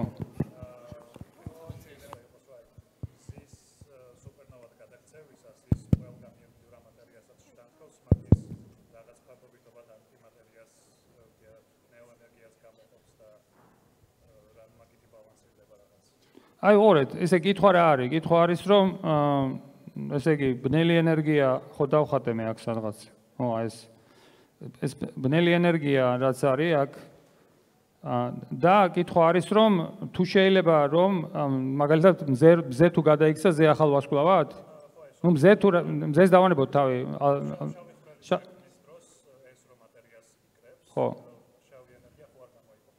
ხო, ეხლა უყურეთ, როდესაც ბნელ ენერგიაზე ვლაპარაკობთ, უნდა განვასხვაოთ ჩვენ. აა ბნელი ენერგია გამარტების თანახმად არის ის, რაც არის ერთგვაროვანი მთელ სამყაროში.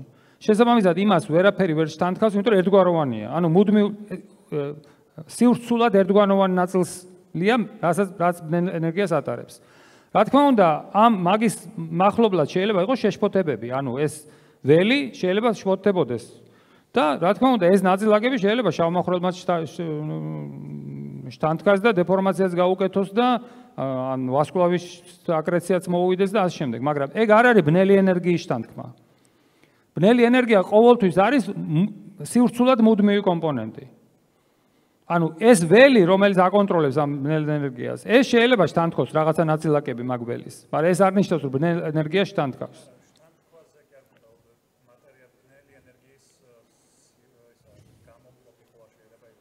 ლოკალურად ხო ნუ იგივე მაშინ იგივე მომენტია, იმიტომ რომ ბნელი ენერგია ეს არ არის რასაც შეუულია კლასტერილებ. ანუ იქ კომპონენტი, რომელიც ბნელ ენერგიას განსაზღვრავს, არის ერთგვაროვანი კომპონენტი. ასე რომ ლოკალურმა ვასკოვმა რომ უცებე გადმოაფურთხოს მაგის ეგ ეგ არ ეგ არ შეიძლება. ნუ თუ ახლა შეიძლება რაღაცა პროცესი იყოს, სადაც შექმნით, მე ეგ უნდა უსასრულოდ რომ დაელოდოთ სანამ ის ნუ ხო, ეგეთ რაღაცა შეიძლება, მაგრამ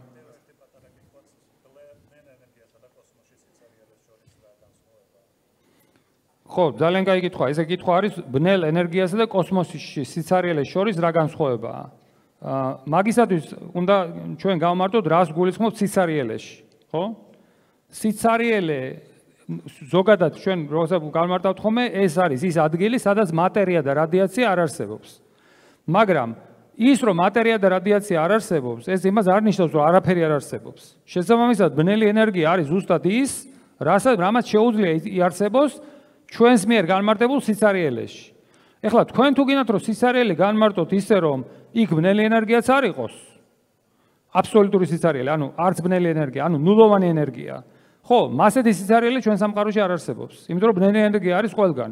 ანუ ვერაფერს, აი, თლიანად რო დავაცარიელოთ რაღაცა უბანი, ბნელი ენერგია მაინც იქნება. იმას ვერ ვერაფერს ვერ მოუხერხებ. ამიტომაც ხანდახან ბნელ ენერგიას უძახიან ვაკუუმის ენერგიას. ანუ ეს არის ენერგია, რომელიც ახასიათებს цаრიელ სივრცეს, ვაკუუმს, ოკეი? ბატონო გია, მე მაინტერესებს. ვიკრიკობით გავაკეთოთ, ხო, თორე მე მაინტერესებს მუონ G-2-ის ექსპერიმენტზე რას ფიქრობთ, ახლა მეორე დეკადის შედეგებიც იყო ახლა ხანს და ну თათ ხუთი სიგმა სარწმუნოება არ არის ჯერ, მაგრამ მაინტერესებს რას გვიქადის მომავალში რა შეიძლება ნიშნავდეს. ოკეი, ცოტა ეგ ცოტა ის არის, რა ქვია, ამ ლექციას არ შეესაბამება, მაგრამ საინტერესო კითხვაა, ხო? არის ესე იგი, რა კითხვა იყო ეგრეთ წოდებული G G-2 მასე რა ქვია? პარამეტრზე. არის არსებობენ ესეთი ელემენტარული ნაწილაკები. არსებობენ მიონები, ანუ არსებობენ ელექტრონები და არის მათი მსგავსი მიონური ეს ელემენტარული ნაწილაკები, მიონები და ამ შემდეგ, ნუ მოკლედ, ელექტრონი მიეკუთვნება ესეთ ტიპს ელემენტარული ნაწილაკების, რომელსაც ჩვენ ვუძახით ლეპტონებს, ოკეი? და აი ამ ნაწილაკებს შეიძლება კონდეთ ეგრეთ წოდებული მაგნიტური მომენტი, ოკეი? და ნუ ეს პარამეტრი შეეხება აი ზუსტად ამ მაგნიტურ მომენტის ში რაღაცა კონტრიბუციას, რაც თითქოს მოასწავებს ახალ ფიზიკას. აა არ ვიცი, ძალიან საინტერესოა. მე დაველოდოთ უნდა ნახოთ როგორ გამოჩნდება, შეიძლება არის ახალი ფიზიკა, ძალიან საინტერესოა. შეიძლება ეს ეს გადახრა, ასე ვთქვათ, თანდათან სტატისტიკურად განულდეს. მაგრამ რა თქმა უნდა, ძალიან საინტერესო არის. ნუ თითქოს იყო მინიშნებები, რომ არსებობს გადახრა, რომელიც მიუნიშნებს ახალ ფიზიკაზე. აა ჯერ არ არის დამტკიცებული. არ არ არ არ არ განიხილება როგორც დამტკიცებული. დიახ. გამარჯობა. მადლობა სემინარისთვის. აა მე მაინტერესებს, ანუ ეს მატრიცა ხომ თელ სივრცეზე უნდა იყოს განმარტებული, იმიტომ რომ სამყაროს აღწერს, ხო როგორც მივხვდი. ხო, ეს მატრიცა სივრცეზე არ არის განმარტებული. ეს მატრიცა არის განმარტებული, ის რიცხვებია უბრალოდ. ხო, ალბათობებს გვიჩვენოს. მე მაინტერესებს, დრო უნდა იყოს აბსოლუტური, როგორც მივხვდი ეს მატრიცისთვის.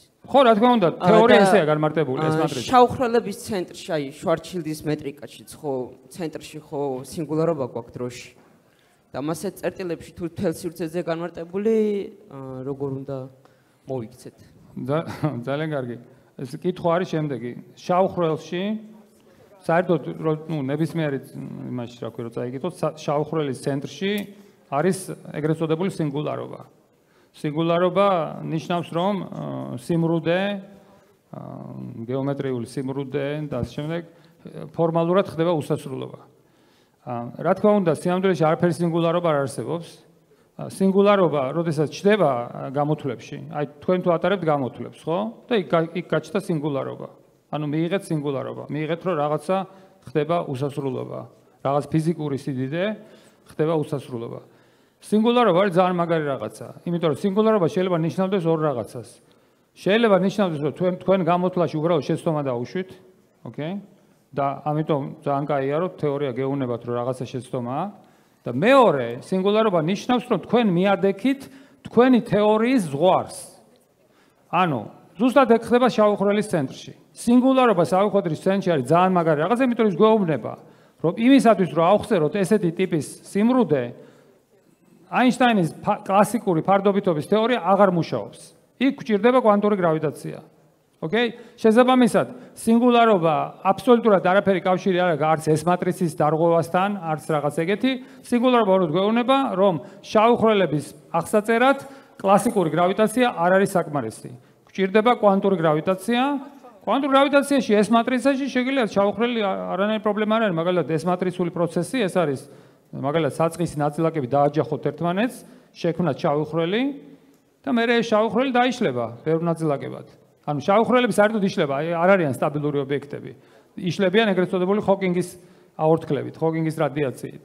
ხო, არანაირი პრობლემა შავხრელებს არ აქვს ეს მატრიცასთან. პირიქით, შავხრელები არიან ის, რაც ეს მატრიცას ქმნიან აა სანდო სანდო ობიექტად. აჰა. და მეორე კითხვა მაქვს შეეხება ბნელ ენერგიასთან კავშირებით. უარყოფითი წნევა ვახსენეთ და შემდეგ დადებითი და ანუ საზომად რას ვიყოთ, იმიტომ რომ როგორც მივხვდი რაღაც უნდა იყოს სხვაობაზე ვსაუბრობ და თუ ეს ძალიან სამყაროში გვაქვს უარყოფითი წნევა, რასთან მიმართებაში ვიღებთ უარყოფითს ანუ? ხო, არა, ფარდობითებზე არსებობს წნევის ნიშანი ენერგიისთან მიმართებაში. ოკეი? ესე იგი, ენერგია ყოველთვის დადებითია. ენერგია ყოველთვის დადებითია. ნუ რა თქმა უნდა, ან ნული. შესაბამისად, მე როცა ვიძახი უარყოფით წნევას, ეს ნიშნავს, რომ განისაზღვრება ნიშანი, ფარდობითი ნიშანი ენერგიის მიმართ. ოკეი? კარგი, მადლობა.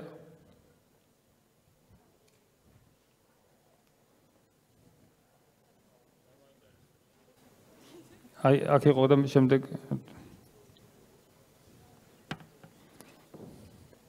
გამარჯობა. გამარჯობა. ესეთი კითხვა მაქვს, ახლა ჯეიმს ვების ტელესკოპი რო გაუშვეს ახალი და 6 ახალი galaktika რო აღმოაჩინეს, რომელიც ზომა რეალურად არ უნდა იყოს იმხელა, რამხელაც ახლა არის. ანუ ეს როგორ მოქმედებს ჩვენი ფიზიკის გაგებაზე და ასევე ეს ტელესკოპები რო ინფორმაციას იღებენ. ბოდი შეიძლება გაიმეოროთ თავიდან, ესე იგი რა აღმოაჩინეს? აა galaktikები აღმო 6 galaktika რო აღმოაჩინეს, რომელიც ზომა რომელიც არის პირველ ყოფილ galaktikები ქვიან და რომელიც ზომა არის ბევრად უფრო დიდი, ვიდრე უნდა ყოფილიყო და მაინტერესებს თვითონ ამ ინფორმაციებს რო ვიღებთ ამ ტელესკოპებიდან რამდენად სანდუათ ან როგორ მოქმედებს ეს? თუნდაც ბნელი ენერგია და ბნელი მატერია ამ სხივებზე და ველებზე და რამდენად სანდო არის ეს ინფორმაცია? მადლობა ხო. ესე იგი ნუ მაგ სიამბლეში ორი სხვა მომენტია. ერთი ის არის რომ აი თავიდან რომ დაუბრუნდეთ ბნელი მატერიის პირველ მინიშნებას რა მოგცვა მინიშნება რომ იყო არის ბნელი მატერია. ეს არის ხალხი უყურებდა შორეულ ზეახალ შორეულ სუპერნოვებს. ანუ სუპერნოვები ეს არის ვასკულარები, რომლებიც ფეთქდება, ესე იგი სუპერნოვა ეს არის აფეთქებული ვასკულარი, ოკეი? გარკვეული ვასკულარების, გარკვეული ტიპის ევოლუციის ბოლოს ვასკულარი ფეთქდება. და წარმოშობს იმდენად კაშკაშა ვასკულარს, რომ მთელი galaktikis სიკაშკაშეს ხანდახან ფარავს. ესე იგი ერთი ვასკულარი.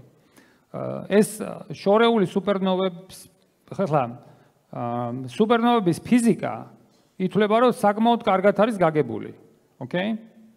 ამიტომ მაგათ ხანდახან უძახიან სტანდარტულ სანთლებს. ანუ რას ნიშნავს? ეს ნიშნავს რომ მიუხედავად იმისა სუპერნოვა სად არის, ჩვენ შეგვიძლია ასე ვთქვათ დავეყრნოთ იმ იმ დაშვებას რომ მისი ფიზიკა გვესმის. ოკეი? შესაბამისად გვესმის რამდენად კაშკაშა უნდა იყოს ეს სუპერნოვა. და როდესაც აღმოჩნდა, რომ აი ამ ძალიან შორეულ სუპერნოვებს, ძალიან შორეულ სუპერნოვებს უყურებდნენ, აღმოჩნდა, რომ მათი სიკაშკაშე არ არის იმდენი. ანუ უფრო დაბინდულები არიან. ოკეი, ეხლა როგორ რატო უნდა იყვნენ დაბინდულები, ხო? ნუ ახსნა, თავიდან ხალხი შეეცადა აეხსნა, რომ შეიძლება ჩვენ შორის რაღაცა მტვერია. შეიძლება მე კიდე შეეცადნენ აიხსნათ რაღაც უფრო ეგზოტიკური რაღაცეებით, რაღაც ფოტონებს რაღაცა გზაში მოზდის. ამ შემდეგ არც ერთმა მაგ ახსნამ არ იმუშავა. ერთადერთი დარჩა ახსნა, რომ ისინი არიან დაბინდულები, იმიტომ არის, იმიტომ რომ არიან იმაზე უფრო შორს, ვიდრე გვეგონა. და იმაზე უფრო შორს რატო არიან? იმიტომ რომ სამყარო ფართო გაფართოვდა აჩქარებულად. და სადაც წესით უნდა ყოფილიყვნენ, ბნელი ენერგია რო არ ყოფილიყო, ეხლა არიან უფრო შორს. ანუ მინიშნება სუპერნოვების განმოვიდა ბნელი ენერგიის არსებობაზე. რა თქმა უნდა, მე სხვა სხვა მხრიდანაც ამოვიდა ეს მინიშნება და ეხლა კომპლექსურია ძალიან. მაგრამ ნუ ეგ იყო. შესაბამისად, ხო, ნუ ეხლა ეს რა თქმა უნდა ეს მუშაობს ესე რომ ხალხი იღებს მონაცემებს, შემდეგ ამას ძალიან ძალიან ფრთხილად ამუშავებენ სტატისტიკურად, შემდეგ სხვადასხვა ჯგუფები ერთმანეთის შეცდომებს ასწორებენ, ანუ რამოდენიმე ჯგუფი კომპლექსურად მუშაობს და ბოლო-ბოლო სტატისტიკურად ღებულობთ შედეგს, რომელსაც შეიძლება ვენდოთ. ანუ ეგ ეგრე მუშაობს. ჰმ. ზოგადად. ტელესკოპზე რა იყო კითხვა?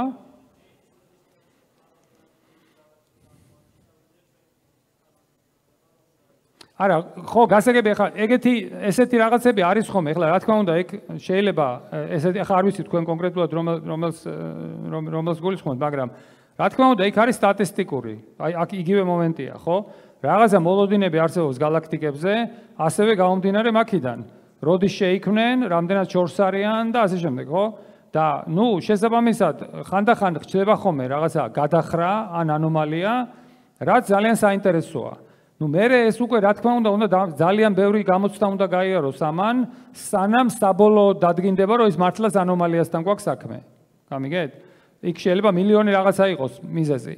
და ხო ნუ ეგ რა თქმა უნდა ხო ძალიან საინტერესო ის არის ნახოთ მანდაც იგივეა ნახოთ რა როგორ გამithარდება საით გამithარდება აი იქ იყო რაღაც ერთი ხო. ალო ისმის ხო ან შეკითხვა გამიშთა შავხრელებთან დაკავშირებით მარანაირ კავშირი არა ჩვენ ლექციასთან იყოს რა უშო დავაკავშიროთ თეთრი ხრელების თეორიაზე დამაინტერესა უბრალოდ. თქვენი აზრით აი უბრალოდ ჰიპოთეზაა თუ მართლა შეიძლება რომ არსებობდეს კავშირი რაღაცა რომ ანუ შავხრელმა რაც შეიწოვა ის განიზიდოს თეთრი ხრელების დახმარებით ჰიპოთეზური აა ანუ ოკეი.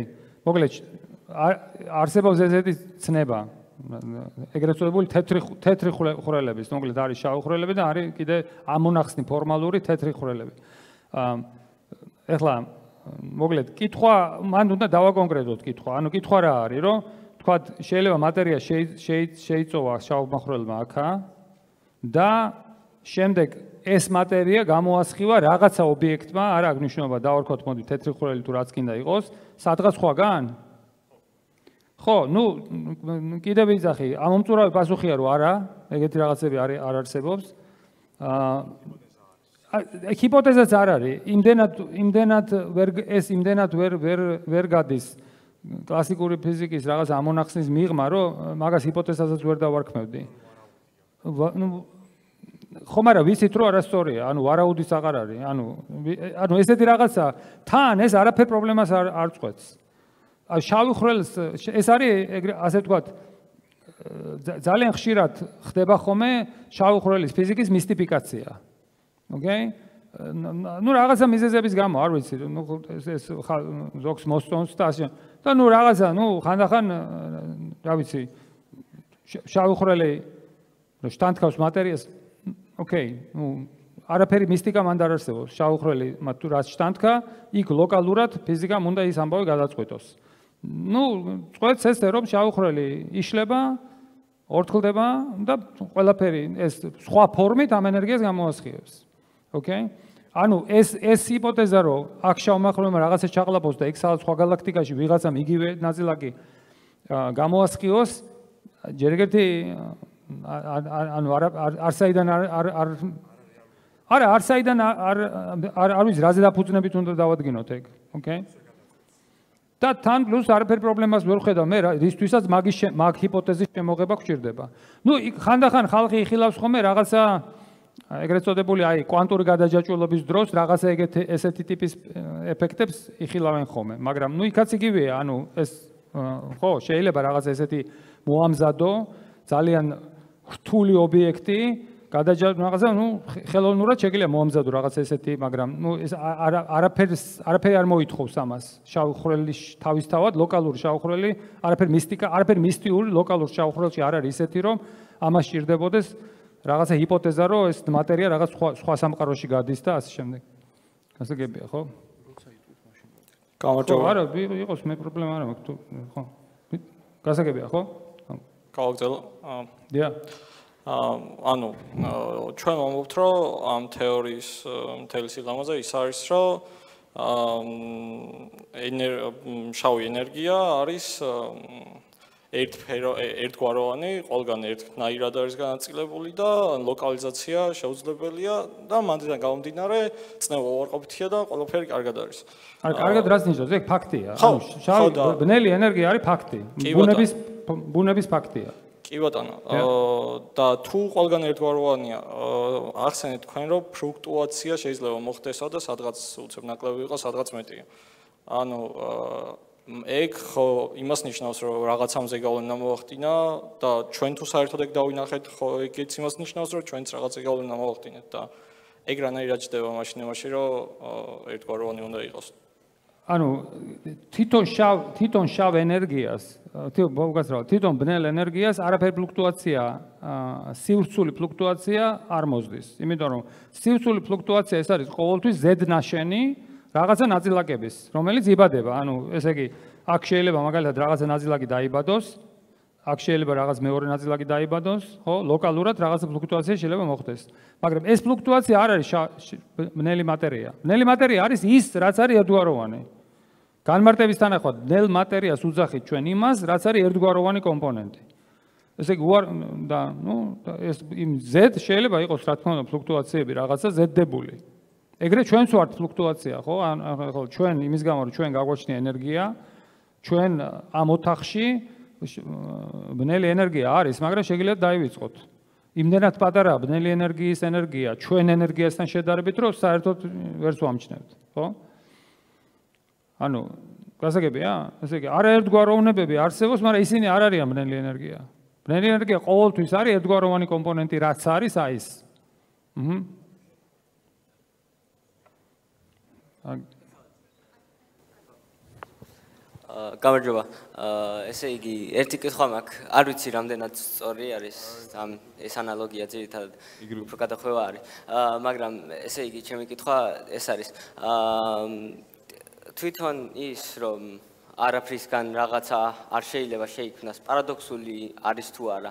ანუ იმას გულისხმობ რომ რაღაცას ხომ უნდა გქონდეს დასაწყისი ასე ვთქვათ და აა როგორ თქვა? ხო გასაგებია. ანუ უპას აი ავიღოთ გავაკეთოთ მან კითხვა და უპასუხოთ ხო? ესე იგი კითხვა არის არაფრისგან ეს როგორ შეიძლება შეიქმნას რამე ხო? ხო ეხლა მე კიდევ ვიძახი ამ ლექციაში არ მილაპარაკე მე სამყაროს წარმოშობაზე არაფრისგან მაგრამ ნუ არის ესეთი ხო არის ესეთი ჰიპოთეზა ხო.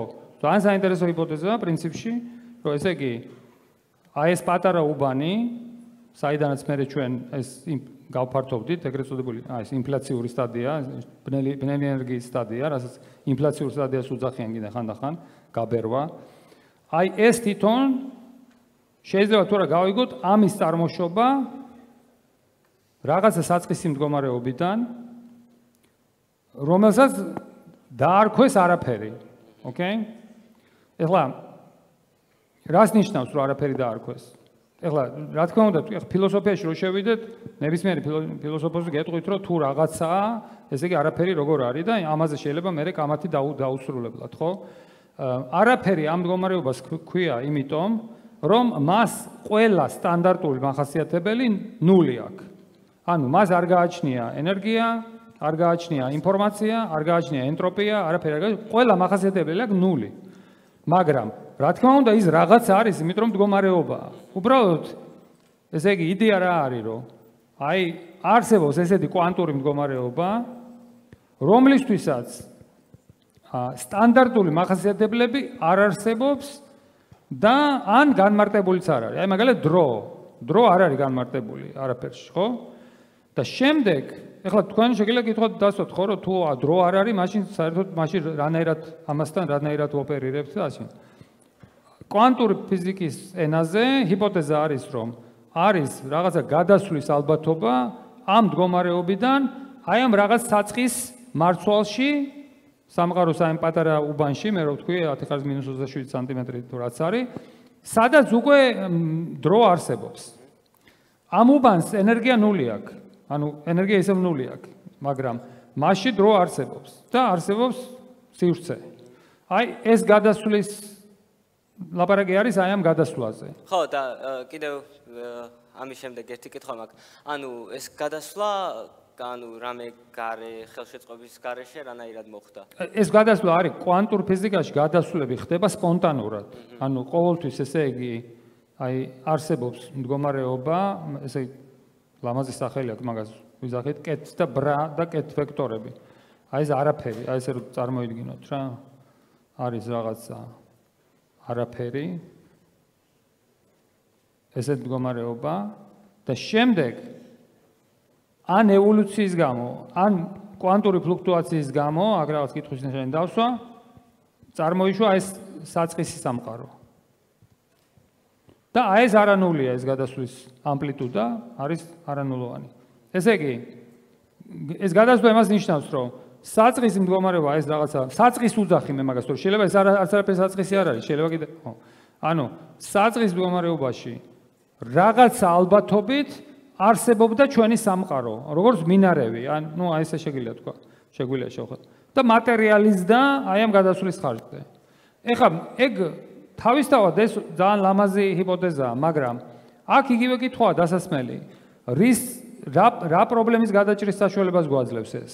ანუ რა კითხვაზე სცემს ეს პასუხს, ხო? ეს ერთადერთი შეიძლება ჩაითვალოს როგორც ღირებული მეცნიერული თეორია, თუ აი აქიდან დათვლა რამე წინასწარმეტყველებას მოგცემს. და ჯერჯერობით არავის არავის არ მოუხერხები არაფრის დათვლა, რომ წინასწარმეტყველება აქედან მივიღოთ. ამიტომ აქ ეხლა ეს რჩება უბრალოდ ნუ რაღაცა ლამაზი ნუ ვისთვის ვიღაცვის ლამაზი ვიღაცვის შეიძლება არა, მაგრამ ნუ რაღაცა იდეა. ოკეი, აი ეს არ არის თეორია. მადლობა. აი უკაცრავად ერთი ეგეთი კითხვა ის რა ამიშდა იმასთან დაკავშირებით თვითონ სამყარო როცა იმას აქნა ო შეიქმნა ანუ ხოდესაც მოხდა დიაბეტება ხო ვიც რაღაც ანუ რაღაცა აჩქარება. და ჩვენ თუ ნუ იტყვით ანუ თვითონ ის არა იმას რომ აა სამყარო ანუ იმაშვება აა ნე ჰელდება და ნელდება რამ აი რა მაინტერესებს ის რაკეტიდან გამომდინარე არის ის რომ აა იარსებებს თუ არა ისეთი აი აბსოლუტური წერტილი სადაც სამყარო იქამდე შენელდება სანამ ისეთი ობიექტებიც რომლებიც მოძრაობენ მათი მოძრაობა გაუტულდება აბსოლუტურ ანუ ის არა უძრაობას ან თვითონ სამყარო მოძრაობდეს და მე ჰელდებოდეს ჰელდებოდეს ანუ გასაგებია ის აფიტოს ნულამდე და მაშინ თუ კი მაშინ რა მაინტერესებს? ჩვენ ვიცით რომ ჩვენ ადამიანები ჰარტო შევძელით მინუს 200 63 გრადუსზე თვითონ მხატერის მაქსიმალური ანუ აყინვა და მაშინ იარსებებს თუ რამე ანუ იარსებებს თუ არ თუ არა ეგეთი სტატია რომ თვითონ ობიექტი და მატერია საერთოდ არ მოძრაობდეს ხო გასაგებია. კი მაგაზე პასუხი გაცემა ამ ამ ჩარჩოებში არ არის პრობლემა. ანუ რა ხდება? კიდე ვიძახი, აი დღეს დღეს დღეისობით ხო? ჩვენ სამყაროს შიგნით არის რაღაც galaktikები, ჩვენ ცხოვრობთ თქვა თან ერთ-ერთში, galaktikis კლასტერებია და შემდეგ. და ჩვენი ჰორიზონტის გარშემო გარეშე გარდაცაც ალბათ არის ბევრი galaktika, ხო? დიახ. შესაბამისად, ასეთ სცენარში რა ხდება? ცოტა ხანი რო გავა, ну ცოტა ხანი გავა, რას ნიშნავს? კიდე 1-10 მილიარდი წელი დაუშვან. ეს ჩვენი ჰორიზონტი გაიზრდება. ну თქვა სიტუაცია რაღაც. შესაბამისად, ის galaktikები, რომლებიც ჩვენი ჰორიზონტის გარეთ იყვნენ, ახლა აღმოჩნდებიან ჰორიზონტის შიგნით. დიახ. მაგრამ რა თქმა უნდა, პარალელურად ვინაიდან სამყარო ფართოვდება, ჩვენ შორის მანძილი გააგრძელებს გაზდას. ესე იგი, მანძილი იზრდება, მაგრამ ჰორიზონტი უფრო სწრაფად იზრდება რა. ოკეი? და ვიღაცები შემოვლენ ჩვენ ჩვენ ჩვენ ჰორიზონტის შიგნით. ეხლა რა თქმა უნდა, ესეთი გაფართოებას რო გაგრძელებით, საშუალო ენერგიის სიმკვრივე ნულში წავა. საშუალო ენერგიის სიმკვრივე. და შესაბამისად, რა თქმა უნდა, ის ჩაცდება აბსოლუტური, ну, ასიმპტოტურად დავა აბსოლუტურ ნულზე, ოკეი? მაგრამ ეს არ ნიშნავს, რომ galaktikis შიგნით ტემპერატურა დაეცემა აბსოლუტურ ნულზე, ან ის რომ გვასკლავის შიგნით აბსოლუტურ ნულზე დაეცემა. მათ თავიანთი ფიზიკა, თავიანთი ციკლი აქვთ, ოკეი? ხო, ну, ანუ ფიზიკა ეს ეს არის. ну, რა თქმა უნდა, პარალელურად ამ ამ galaktikებსაც მოძდით ევოლუცია. იქ ვასკლავები, რაღაც და ახალი ვასკლავები ფეთქდება, მე რაღაცა ევოლუცია მოძდის, როგი ვასკლავი ცივდება, ზოგი შავხრელად გარდაიქმნება, მე შავხრელები ორთქლება. ну, ეს გამუდმებული პროცესია, მაგრამ შეუქცევადად მოხდება გაუხშოება საშუალო ენერგიის. ოკეი? აი ეს არის რაც მოხდება. ესეთ ესეთ გაფართოება სამყაროში. დიახ. აი, ეგეთ იყო კიდე რაღაც. დიახ. ჩემი კითხვა მდებარეობს შემდეგში. თუ ჩვენი ჰორიზონტი ფართოვდება, აა რა მოხდება იმ შემთხვევაში, თუ ჩვენი ჰორიზონტის გარდა სხვა ჰორიზონტის გაფართოება შეეხება ჩვენს გაფართოებას, ასე ვთქვათ. გასაგებია ხო? ანუ კაი ეს არის, კაი კითხვა არის შემდეგი, რომ აა ესე იგი, აი წარმოვიდგინე რომ აქ ალისაა და აქ კიდე ტყუპის ძალი მაგას. ესე იგი, ეხლა ჩვენ ვართ აქ ჩვენი ჰორიზონტი. ჩვენი ჰორიზონტი ეს არის ფიზიკური ადგილი. მე რომ მეგობარი გაუგზავნო და ჰორიზონტი გადაკვეთოს, ვერაფერს ვერ შეამჩნევს. ანუ ჩემ ჰორიზონტს ის ისე გადაკვეთავს, რომ საერთოდ აზეც ვერ მოვარო რაღაცა გადაკვეთა. არასწორად. ანუ რა ხდება? ჰორიზონტი ეს არის ფიზიკური ადგილი, სადაც წერტილები გშორდებიან სინათლის სიჩქარეზე სწრაფად. შესაბამისად, ყველა დამკვირვებელს მე რა თავიდან რო ვთქვი, რომ სამყარო ძალიან დემოკრატიულია მეთქი. იმიტომ რომ ყველა დამკვირვებელს თავისი ჰორიზონტი აქვს. და როდესაც ეს ჰორიზონტი ჩვენი გაფართოვდება, ჩვენს მეზობლად ყოფის ჰორიზონტის გაფართოვდება, რა თქმა უნდა. ოკეი? შესაბამისად, ჩვენ აღმოჩნდებით ერთი ჰორიზონტის შიგნით. ესე იგი, ჩემთვის თუ ჩემი ჰორიზონტი ისე გაფართოვდა, რომ ეს დამკვირვებელი მოიცვა, მისთვისაც ჰორიზონტი ისე გაფართოვდება, რომ მე ოკეი? ხო, ანუ ეს არ არის ფიზიკური, რაღაცა ფიზიკური ზღვარი. ეს არის ადგილი უბრალოდ ჩემს ჩემ ხო ჩემი ახმის ადგილია სადაც სიჩქარე აჭარბებს სინათლის სიჩქარეს. ჩემგან გაქცევის. ოკეი? ისევ ჰორიზონტზე ვიტყვი უცებ თუ შეიძლება ვიკითხავ. აა რა ხდება იმ შემთხვევაში როდესაც ჩვენი ჰორიზონტი იზრდება? ანუ ვიზუალურად როგორი ეფექტი იქნება? დავინახავთ თუ არა იმ ვარსკვლავის დაბადებას და ამ დღემდე მოხდეს თუ რაღაც? ხო, დავინახავთ სულ უფრო და უფრო ახალ ახალ შორ ჩვენ დავინახავთ სულ უფრო და უფრო შორეულ ვარსკვლავებს და დავინახავთ მათ კიდევ უფრო შორეულ ისტორიას. მე ხო თქვი რომ ის სინათლე ჩვენამდე რაც მოდის დღეს იმან იარა გზაში 10 მილიარდი წელი. და ის სურათი რაც იმან მოგვიტანა, ეს არის 10 მილიარდი წლის წინანდელი. იქ ის ის სურათი აღარ არის. იქ ყველაფერი დრამატულად არის შეცვლილი, რა თქმა უნდა. ну ასევე და გამას გავაგზავნებთ. ანუ სულ უფრო და უფრო შორეული უნებიდან მოვა ჩვენამდე ინფორმაცია. და ეგ ჰორიზონტის ზრდა რა დონემდე შეიძლება რომ მივიდეს? შეიძლება თუ ანუ galaktikats თუ იზრდება და ნელა იზრდება, შეიძლება თუ არა ჩვენმა ჰორიზონტმა მის საზღვრებს, ჩვენი ჰორიზონტი მის საზღვრებს გაცდეს რამენაირად. არა, ჩვენი ჰორიზონტი არის ჩვენ galaktikაზე გაცილებით უფრო შორს. ჩვენი galaktika universe მთლიანად რაც არის. არა, ჩვენი galaktika არის ერთი ბეწო ჰორიზონტთან შედარებით. ჰორიზონტი სამყაროს ვამბობდი უფრო.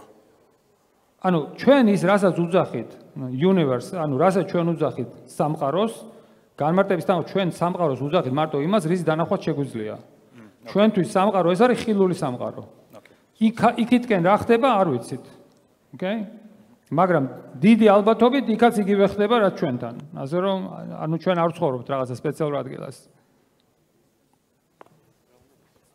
გამარჯობა. სწორი პირობების შემთხვევაში ანტიმატერიასაც შეუძლია თუ არა წარმოქმნას გრავიტაციული ტალღები და განსხვავდება თუ არა ეს გრავიტაციული ტალღები ჩვეულებრივი მატერიის წარმოქმნილი გრავიტაციული ტალღებისგან?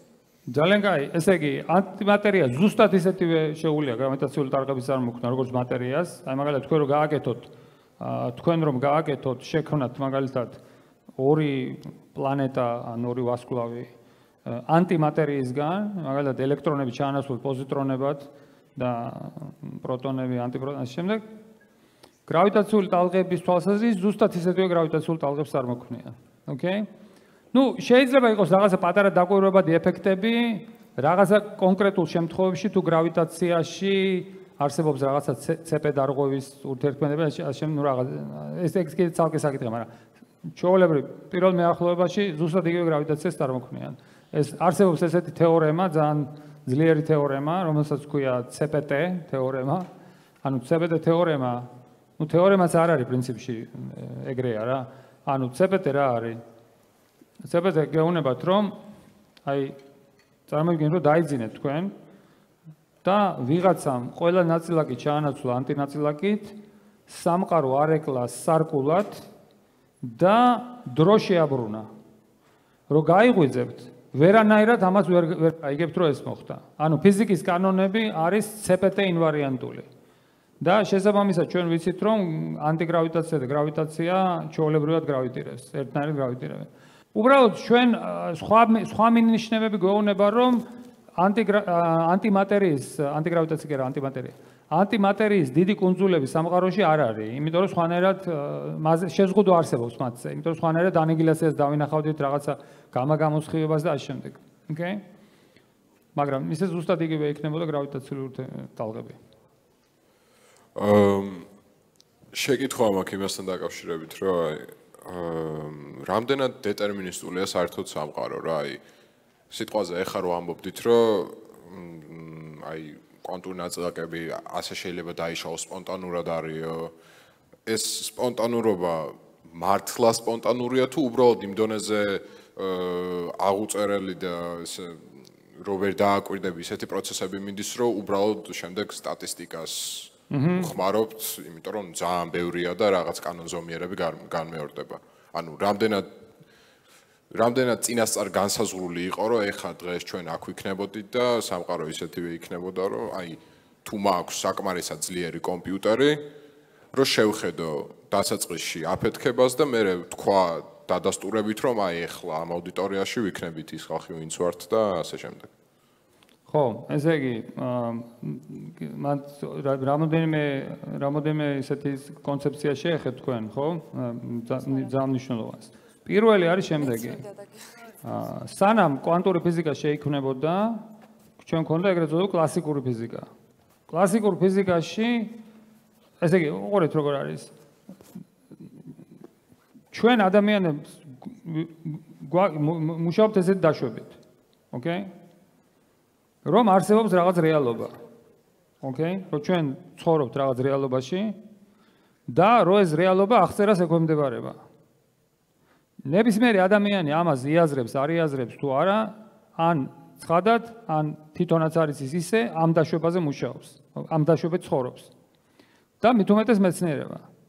მეცნიერება, ესე იგი, ფიზიკა ეფუძნება ამას, რომ არსებობს ობიექტური რეალობა, ობიექტური რეალობა და ეს ობიექტური რეალობა აღწერას ეგვემდებარება.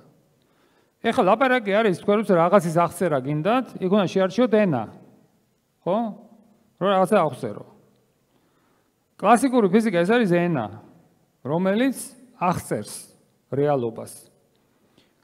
მაგრამ როგორ აღწერს? ეს ენა, რა თქმა უნდა, ხო არ ეს ერთ დღეში ხო არ დაგვესიზბრა. ეს ენა განვითარდა იქიდან გამომდინარე, ვინ ვართ ჩვენ, ადამიანები, ხო? და ჩვენ ჩვენ ემოციებთან და ჩვენ გამოცდილებასთან ეს აღწერა არის პირდაპირ ბმაში. შესაბამისად კლასიკურ ფიზიკაში აღწერს იმ პარამეტრებით რეალობას, რა პარამეტრები ჩვენთვის იყო მნიშვნელოვანი, რომ გადავრჩენილიყავით იმისთვის. რა არის ეს პარამეტრები? მდებარეობა და სიჩქარე, ხო? იმიტომ რომ ყოველთვის ჩვენ ან ვიღაცისგან გავრბოდით, ან ун ვიღაცას მივსდევდით, ხო? დაწყებული ქვისხანით თუ რა ვიცი, იქიდან და ან უნდა გწოდნო და ვინ სად არის, ხო? ეს არის ჩვენთვის თავარი. შესაბამისად, ჩვენთვის უმთავრესი ამოცანა იყო, რომ გაგვეგო როგორ მოძრაობენ ობიექტები. კლასიკური ფიზიკა შესაბამისად აქ ამის გამოძახილი არის, რომ ჩვენს ესადაგება ჩვენს ცნობიერებას და ესე იგი ამოცანა კლასიკურ ფიზიკაში არის, რომ თუ ნაწილაკები არის აქ, აქ, აქ და ამ სიჩქარით მოძრაობს, როგორ შემიძლია გავიგო მათი მაგალითად მოძრაობის ტრაექტორია და შემდეგ.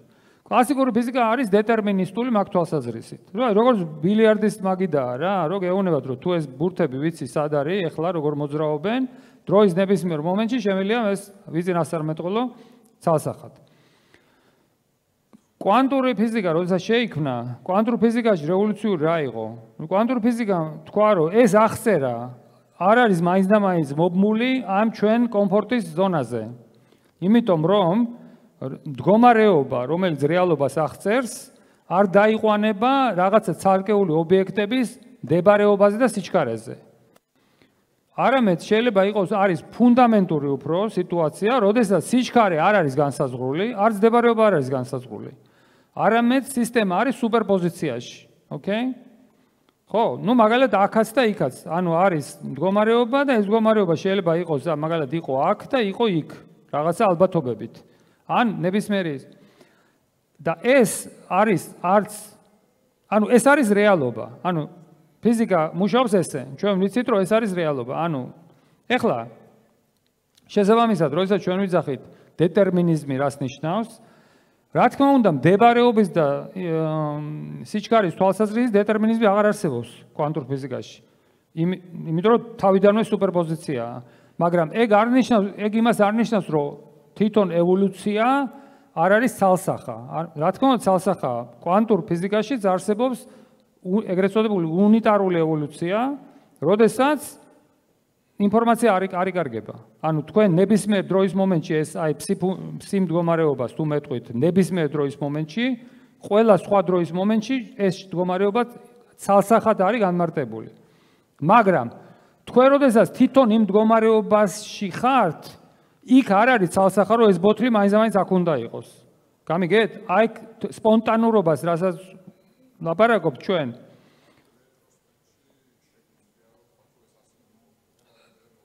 თქვენ რო კონდეთ მაგალითად კომპიუტერი, ну, ну, საკმაოდ ძლიერი კომპიუტერი საკმარისია. თქვენ შეგეძლიათ ცალსახა ევოლუცია გაუკეთოთ აი ამ მდგომარეობას. თუ მე თქვენ მოგცემთ სისტემას, სისტემის საწყის მდგომარეობას თუ გეტყვით რაც არის და მოგცემთ ამ სისტემის ევოლუციის ოპერატორი რაც არის, ამ სისტემის ნებისმიერ მდგომარეობას ნებისმიერ მომენტში თქვენ შეგიძლიათ გამოთვალოთ. მაგრამ ეს მდგომარეობა ნებისმიერ ვარიანტში ამ მდგომარეობას მაინც გააჩნია განუზღრელობა. იმიტომ რომ ამ მდგომარეობაში ყოველთვის სისტემა არის რაღაცა სუპერპოზიციაში. გამიგეთ? ამ ამ მდგომარეობაში თქვენ რაღაცა გაზომა ჩაატაროთ, რაღაც ალბათობით მიიღებთ სისტემას აქ, რაღაც ალბათობით იქ. რაღაც ალბათობით ცოცხალი მკვდარი ის აი შრედინგერის კატარო არის და ამ შემდეგ. შესაბამისად შესაბამისად დეტერმინიზმი კვანტური არსებობს, რა თქმა უნდა, იმიტომ რომ კვანტური ევოლუცია ცალსახაა, ის ინფორმაციას ინახავს, ხო? მაგრამ კვანტური ევოლუცია მოსდის, ანუ კვანტურად, ხო? ეს არის. ოკეი? ანუ კლასიკური დეტერმინიზმი რა თქმა უნდა არ არსებობს, იმიტომ რომ არ არსებობს მდგომარეობა და სიჩქარე როგორც კარგი מחასიათებელი. სინამდვილეში არის სუპერპოზიცია და რაღაც განუზღრელობა. გამიგეთ? ოკეი? გამარჯობა, მადლობა პირველ რიგში ლექციისთვის. მე მაინტერესებს გრავიტონზე. ანუ გრავიტონი მე როგორც ვიცი დეტექტირებული ჯერ არ არის და ჩვენ ძალიან ისევ საუბრობთ თეორიულად, თვითონ რაღაც უკვე ხელში გვეჭიროს გრავიტონი. რამდენად დიდი ალბათობა ან დეტექციის, ან როგორ ველოდებით, ან რატო ერო ფიქსირებთ ან სპინი ორი, ესე გამორჩეულობა რა კავშირშია მის ეს ძალიან კარგი კითხვა. ანუ კითხვა არის შემდეგი, რომ ნუ გრავიტონზე ვლაპარაკობთ ამდენს და სად არის გრავიტონი? ოკეი? ანუ ესე იგი ლაპარაკი აქ არის, როდესაც ჩვენ ვლაპარაკობთ კვანტურ ფიზიკაზე, ხო? და ნაწილაკებზე. ლაპარაკი არის რამდენად ჩვენ შეგვიძლია ჩავატაროთ მაგალითად ექსპერიმენტი, რომელიც დააფიქსირებს თითოეული ნაწილაკის ეფექტს. ოკეი? იმისათვის რომ ექსპერიმენტი დააფიქსიროს ცალკეული, ცალკე აღებული ნაწილაკის ეფექტი, ან ექსპერიმენტი უნდა იყოს ძალიან სენსიტიური, ან ეს ნაწილაკი უნდა ურთიერთქმედებდეს საკმაოდ ძლიერად. აი მაგალითად ფოტონი. ფოტონი საკმაოდ ძლიერად ურთიერთქმედებს. ფოტონის ბმის კონსტანტა, ბმის, აი რომელიც პარა სიძლიერეს ასახავს. ალბათ ესე ცნობილი ალფა ეს არის ერთი ხარისხად ერთი გაყოფილი 137-ზე, დაახლოებით. ოკეი? ეს არის ფოტონის ბმის სიძლიერე. ანუ უხეშად რო ვთქვა რა, ნებისმიერ ექსპერიმენტში, როდესაც მაგალითად მე ვასხიებ ერთ ფოტონს, აი ამ ამ გადასახადს ვიხდი. ოკეი? ალბათობა ასე არის დათრგუნული. ოკეი? ეხლა მაგალითად წარმოვიდგინოთ რომ მე მინდა რომ ჩავატარო ექსპერიმენტი, სადაც გამოვასხიებ ერთ გრავიტონს რომლის ტალღის სიგრძეც იქნება მაგალითად სანტიმეტრი. აი 1 სანტიმეტრის ტალღის სიგრძის გრავიტონი გამოვასხიო. ერთი ინდივიდუალური გრავიტონი. რა ფას ვიხდი მაგაში?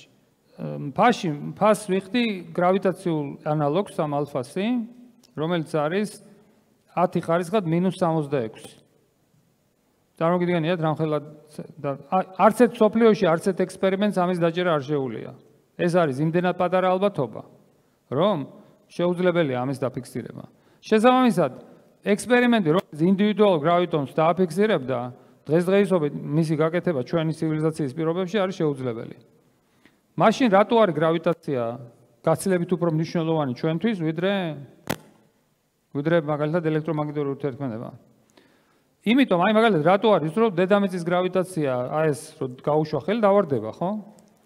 თუ გრავიტონი ესეთი სუსტია, იმაშია საქმე, რომ დედამიწის გრავიტაციული ველი შედგება უაზარმაზარი რაოდენობა გრავიტონებისგან. გამიგეთ? დედამიწის გრავიტაციული ველში გრავიტონების რაოდენობა n არის დაახლოებით 10 ხარისხად 66. ანუ ამას აკომპენსირებს. ანუ როდესაც მე ვზომავ გრავიტაციულ ურთიერთქმედებას, იქ კი არ ვზომავ ერთი გრავიტაციონის ეფექტს, არამედ კოლექტიურ ეფექტს ვზომავ. ასევეა გრავიტაციული ტალღაც. ანუ გრავიტაციული ტალღა ეს არის უზარმაზარი რაოდენობა გრავიტონების ერთობლიობა, კოჰერენტული მდგომარეობა და შესაბამისად ის ეფექტი იზომება. ეხლა, რა თქმა უნდა, თქვენ შეგიძლიათ თქვათ, რომ ნუ გრავიტონის არ გჯერათ. ანუ თქვენ კი არა, ხო, არის, ნუ არის ხალხი, ვინც იძახის, რომ ხო, მაგრამ გრავიტონი ხო არ ვიცით არსებობს თუ არა. ნუ ეგ არის აბსურდი, იმიტომ რომ რას ნიშნავს არსებობს? ყველა ფერი რაც ჩვენ ვიცით გრავიტაციაზე, ამ ენაზე აღიზერება. ანუ ვიცით, რომ გრავიტონიდან გამომდინარე შეგვიძლია გამოიყვანოთ პლანეტარული ორბიტები, გრავიტაციული ტალღა, ასე შემდეგ. უბრალოდ ვიცით, რომ გრავიტაციული ურთიერთქმედება ვინაიდან ძალიან სუსტია ამ გრავიტონების. შესაბამისად, ექსპერიმენტის გაკეთება, სადაც გრავიტონს დავიჭერდი, შეუძლებელია ამ ტექნოლოგიით. აი ეს არის მაგისი, ხო, მაგისი ისა. მოგესალმებით. მე მაინტერესებს ერთი შეკითხვა. აი შავი ენერგიის დაშლის შედეგად, ნუ ჰორიზონტის გასვლის გაფართოების შედეგად მოხდება ნუ რაღაც ახალი სამყაროს ტრანსფორმირება, ხო, თავისთავად. და აი ხო არ ნიშნავს ეს თუნდაც ჰიპოთეთურ დონეზე თქვათ ეს ახალი სამყაროს ტრანსფორმირება რაღაც ისე დიდი აფეთქების თეორიულ მასთან გვაბრუნებს თქვათ იმ წერტილთან იმ საწყისთან და აი დაუშვათ წარმოდგენებში მაინც როგორ შეიძლება ამ ფიზიკური ამ ასეთი ობიექტის აღწერა ასე ვთქვათ ამ ფიზიკური მოცემულობა როგორი იქნება ასე. დაახლოებით მაინც წარმოდგენებში ანუ ესე იგი თუ დავაზუსტო. ანუ კითხვა არის რა ფორმის ენერგიის რა ფორმაში იშლება ბნელი ენერგია? ანუ სამყაროს როგორი ფორმირება იქნება ამ ტრანსფორმირების შედეგად დაახლოებით? ხო ნუ ბნელი ენერგია თუ დაიშლება დაიშლება ჩვეულებრივ ნაწილაკებში და ანუ მივიღებთ რაღაც საწყის მომენტს, ხო, როგორც დიდი აფეთქების თქვათ, რაღაც იმ არა, ხო, ნუ დიდი აფეთქები, ხო, გადა პატარა ასე უხეშად რო თქვა, ნუ პატარა პატარა გადაცხელებას მოაწყობს. ანუ ესე იგი დაიშლება, ნუ დაიშლება ძალიან გძელტალღოვან ნაწილაკებში. აა ნუ ხო და შემდეგ ეს ენერგია გადავა მათში რა. ანუ ეფექტი ალბათ ეგ იქნება. თუმცა ეხა ხო განმეორებადობის პროცესი იქნება თქვა რაღაც ხელახალი დაწყების დაახლოებით არა ესეთ ნუ წარმოდგენებში. ნუ ჰიპოთეტურ დონეზე. ნუ ოდნავ ხო ნუ რაღაცა ტემპერატურაში გადა ნუ რაღაც ტემპერატურის მაგვარ შექმნის შეიძლება არც ტემპერატურულად არც ჩამოყალიბდეს ანუ წონასწორობაში ვერც მოვიდეს. უბრალოდ ნაწილაკებს დაბადებს რა რომლებსაც მე შემდეგ ექნება ჩვეულებრივი ნაწილაკური ენერგია. და უარყოფითი წნევა გაქრება. ანუ წნევა არ ინახება, არ არსებობს წნევის შენახვის კანონი, ეგეთი რამე არ არსებობს. ანუ შესაძლოა ის უარყოფითი წნევიანი ობიექტი შეიძლება დაიშალოს და არაფერი, მოხდეთ ნულოვანი წნევა ან დადებითი წნევა. მადლობა. ია. კარგი, ერთი მე მაქვს კიდევ ორი კითხვა. გამარჯობა. ა გრავიტაციაზე მინდა ვიკითხო, ანუ გრავიტაციის გაგება იცვლება დროთა განმავლობაში და დღეს თუ შეიძლება ასე ვიფიქროთ გრავიტაციაზე, რომ ეს არის სივრცის რაღაც מחასიათებელი სივრცის თვისება, რომელიც თვითონ დროს სივრცის ბოჭკოშია რაღაცნაირად ჩაწერილი და ტრიგერი არის ენერგია, ანუ სადაც იარსებობს ენერგია, იქ ტრიგერდება და ხდება გრავიტონების, ანუ გრავიტაციული ტალღის წარმოქმნა. ანუ შეიძლება ასეთი გაგება ქონდეს გრავიტაციის. კი, შეიძლება, დიახ, შეგვიძლია ეს გამო. კარგი, კიდე შემდეგ შეკითხვა მაქვს. აქ იყო. რა თქმა უნდა, ეხლა როგორც ლაპარაკობდი, რა თქმა უნდა, ნებისმიერ თეორიის გამარჯვებას ფორმულები სჭირდება იქ. ანუ, მაგრამ ესე ასე ვთქვათ, სიტყვის დონეზე შეიძლება ესე ითქვას, კი? ხო, ანუ ეს ანუ გრავიტაციის ასეთი გაგებას კი შესაძლებელია, რომ გრავიტაცია ასე გვესმოდეს, რომ ის როგორც სივრცეში ჩაწერილი აა ნუ სივრცის თვისებაა, მოკლედ რომელიც ანუ რომლისთვისაც წყარული ხდება უბრალოდ რაღაც ენერგია ან იმპულსზე ტრიგერდება და ეს არის ხო, ეს არის ეინშტეინის თეორიის ფარგლებში გრავიტაციის გამარტება, ეგ ძალიან კაი გამარტება გრავიტაციის, რომ ეს არის სივრცე დროის სიმრუდე, რომელიც გამოწვეულია ენერგიით. თუ თქვენ გაქვთ ენერგია, ის იწევს სივრცე-დროის გამრუდებას და აი ეს სიმრუდის აღწერა ეს არის გრავიტაცია. გასაგები. კარგი, შემდეგი შეკითხვა მაქვს. გარუ მაინც აი კითხვის ნიშანი დამრჩა გრავიტაციულ განმარტებაზე, კვანტურ განმარტებაზე, რატო რას ეფუძნება და რატო მოითხოვს აბსოლუტური საათის არსებობას. იქიდან გამომდინარე პლუს რომ დღეს ჩვენ არა გვაქვს ხო აბსოლუტური საათი, ამიტომ ჩვენი კოსმოლოგი ჰორიზონტის მიღმა სხვა საათია, ჩვენთან სხვა საათია.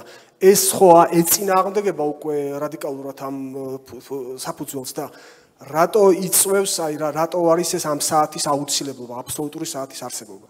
ხო, ანუ კაი შენიშვნა ეგრო, ესე იგი ეს დავით სანავს. აა აა მოგლეთ აა ფარდობიტობის თეორია, რა თქმა უნდა, ფარდობიტობის თეორიის თანახმად ჩვენ ვიცით, რომ აბსოლუტური საათი, აქ ლაპარაკი არ არის აბსოლუტურ საათზე. ანუ ლაპარაკია, რა თქმა უნდა, თქვენ ყოველთვის შეგიძლიათ საათებს გავუკეთოთ სინქრონიზაცია, ხო? მაგალითად, მარტივია. თქვენ თუ ჩემს მიმართ რაღაცა სიჩქარით მოძრაობთ, არ აქვს მნიშვნელობა რამდენად ნელა. არა ხა უბრალოდ რომ გაიაროთ თქვენი საათი და ჩემი საათი სხვადასხვა ნაირად ევოლუციებს, ხო? მაგრამ თქვენ ამის გამო არ არ გადიხართ მიზეშედეგობრივი კავშირიდან ჩემსგან, ხო? ჩვენ შეგვიძლია ისევ შევიკრიბოთ სინქრონიზება გავაკეთოთ საათს და ამ შემდეგ. ანუ აქ ლაპარაკი არ არის ფარდობითი დროის არარსებობაზე.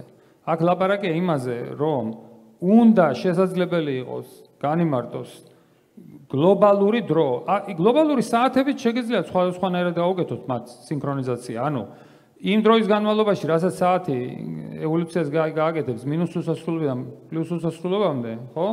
მათ შეუძლიათ სხვა სხვანაირად იყოს სინქრონიზირებულები საათს. უბრალოდ აქ ლაპარაკია, რომ საათს უნდა შეეძლოს დაფაროს მინუს უსასრულობიდან პლუს უსასრულობამდე. ანუ გლობალური საათი უნდა არსებობდეს რომელთანაც ყველა შეუძლია ბოლო-ბოლო სინქრონიზაცია. ოკეი? ასიმპტოტურად. და ჩვენ რო განსხვავება გვაქვს ახლა ჰორიზონტს მიღმა ხომ სხვა საათ, ანუ იქ ხო ჩვენ ხო მიზეშეუდობრივი კავშირი გვაქვს დარღვეული. ჰორიზონტს მიღმა და ჰორიზონტს შიგნით. და ეს შეიძლება ესე იგი ეს საათიც დარღვეულია, ხო? ხო ვერ მოახდენ სინქრონიზაცია საათებს. იმიტომ რომ ზუსტად მაგას ვიძახი, ზუსტად ეგ არის მომენტი, რომ ჰორიზონტი რო იყოს მუდმივი, მაშინ დარღვეული გქნება ეს მიზეზწრებრივი კავშირი და საათ ესეთი საათი არ არსებობს. ესე იგი მოკლე დროში რო დარ ეხლა რო დარღვეული გვაქვს ეს ეს არის არა რა თქმა უნდა მაგრამ ეს მატრიცა არ არის მოკლე დროში განმარტებული ეს მატრიცა არის უსასრულო დროში. შესაბამისად აუცილებელი მოთხოვნა არის რომ უსასრულო დროის მერე ჰორიზონტი უნდა უსასრულო გახდეს. ზუსტად მაგითო არის რომ ზუსტად მაგითოა რომ ნელი ენერგია არ შეიძლება არ უნდა დაიშალოს. და კიდე ხო, ეხლა რა შეიძლება ოღონდ რა არის ეხლა რა თქმა უნდა ამ ლექციაში მე ეს არის ეხლა მე რასაც ვლაპარაკობ. ეს არის დებატების და იმის განხილვის საკითხი ყველა ყველა მთავარ კონფერენციაზე კოსმოლოგიაში. აი ახლა რა ვიცი, აი ბოლო 5 კვირის განმავლობაში ხუთი მოხსენება მქონდა სხვა სხვა კონფერენციებზე. და რა თქმა უნდა, იქ ყველგან ეგ კითხვები წარმოიშობა და იქ ანუ მაგას ვიზახი, ანუ ეს არის ბუნებრივი, რომ აქ კითხვები იბადება, რა თქმა უნდა. ეხლა ნუ გასაგებია რომ ლექციის ფორმატი ბევრი დეტალის იმის საშუალებას არ იძლევა. მადლობა. კარგი, რამდენიმე კითხვა და დავამთავროთ. გამარჯობა. ანუ თქვათ რომ ამბობთ რომ სხეული დაშვებული 10 მილიარდი წლით, რა სინათლის წლით. აა რა ვიცით რომ აი გრავიტაციამ არ მოახდინა სხევის გამრუდება და სინამდვილეში 2 მილიარდი წლით არ არის დაშორებული. სინამდვილეში რა, რა ვიცით? სინამდვილეში 2 მილიარდი წლით არ არის დაშორებული და გრავიტაციამ არ მოახდინა სხევის გამრუდება და ამიტომ მივიღეთ 10 მილიარდი წელი. სა, კიდე კიდე ანუ რომელი ეფექტის ახსნა მაგითი? აი რაღაც სხეული სიტყვაზე დაშორებული 10 მილიარდი წლით. ხო ამბობთ? ხო. და საიდან ვიცით რომ რაღაც გრავიტაციამ არ მოახდინა სხევის გამრუდება და რეალურად მივიღეთ ეს რიცხვი. კი, რა თქმა უნდა, ახდენს გრავიტაცია, ეგ გათვალისწინებულია. იქნებ 2 მილიარდ ან ანუ ეგ ყველაფერი გათვალისწინებულია. რა თქმა უნდა, ის ის სხივი იქიდან საამჩვენამდე მოახსევდა, იმან გამოიარა უამრავი რამ. გრავიტაციული გრავიტაციული ლენზირება მოუვიდა, გრავიტაციული ველი გამოიარა. ეს ყველაფერი გათვალისწინებულია, რა თქმა უნდა.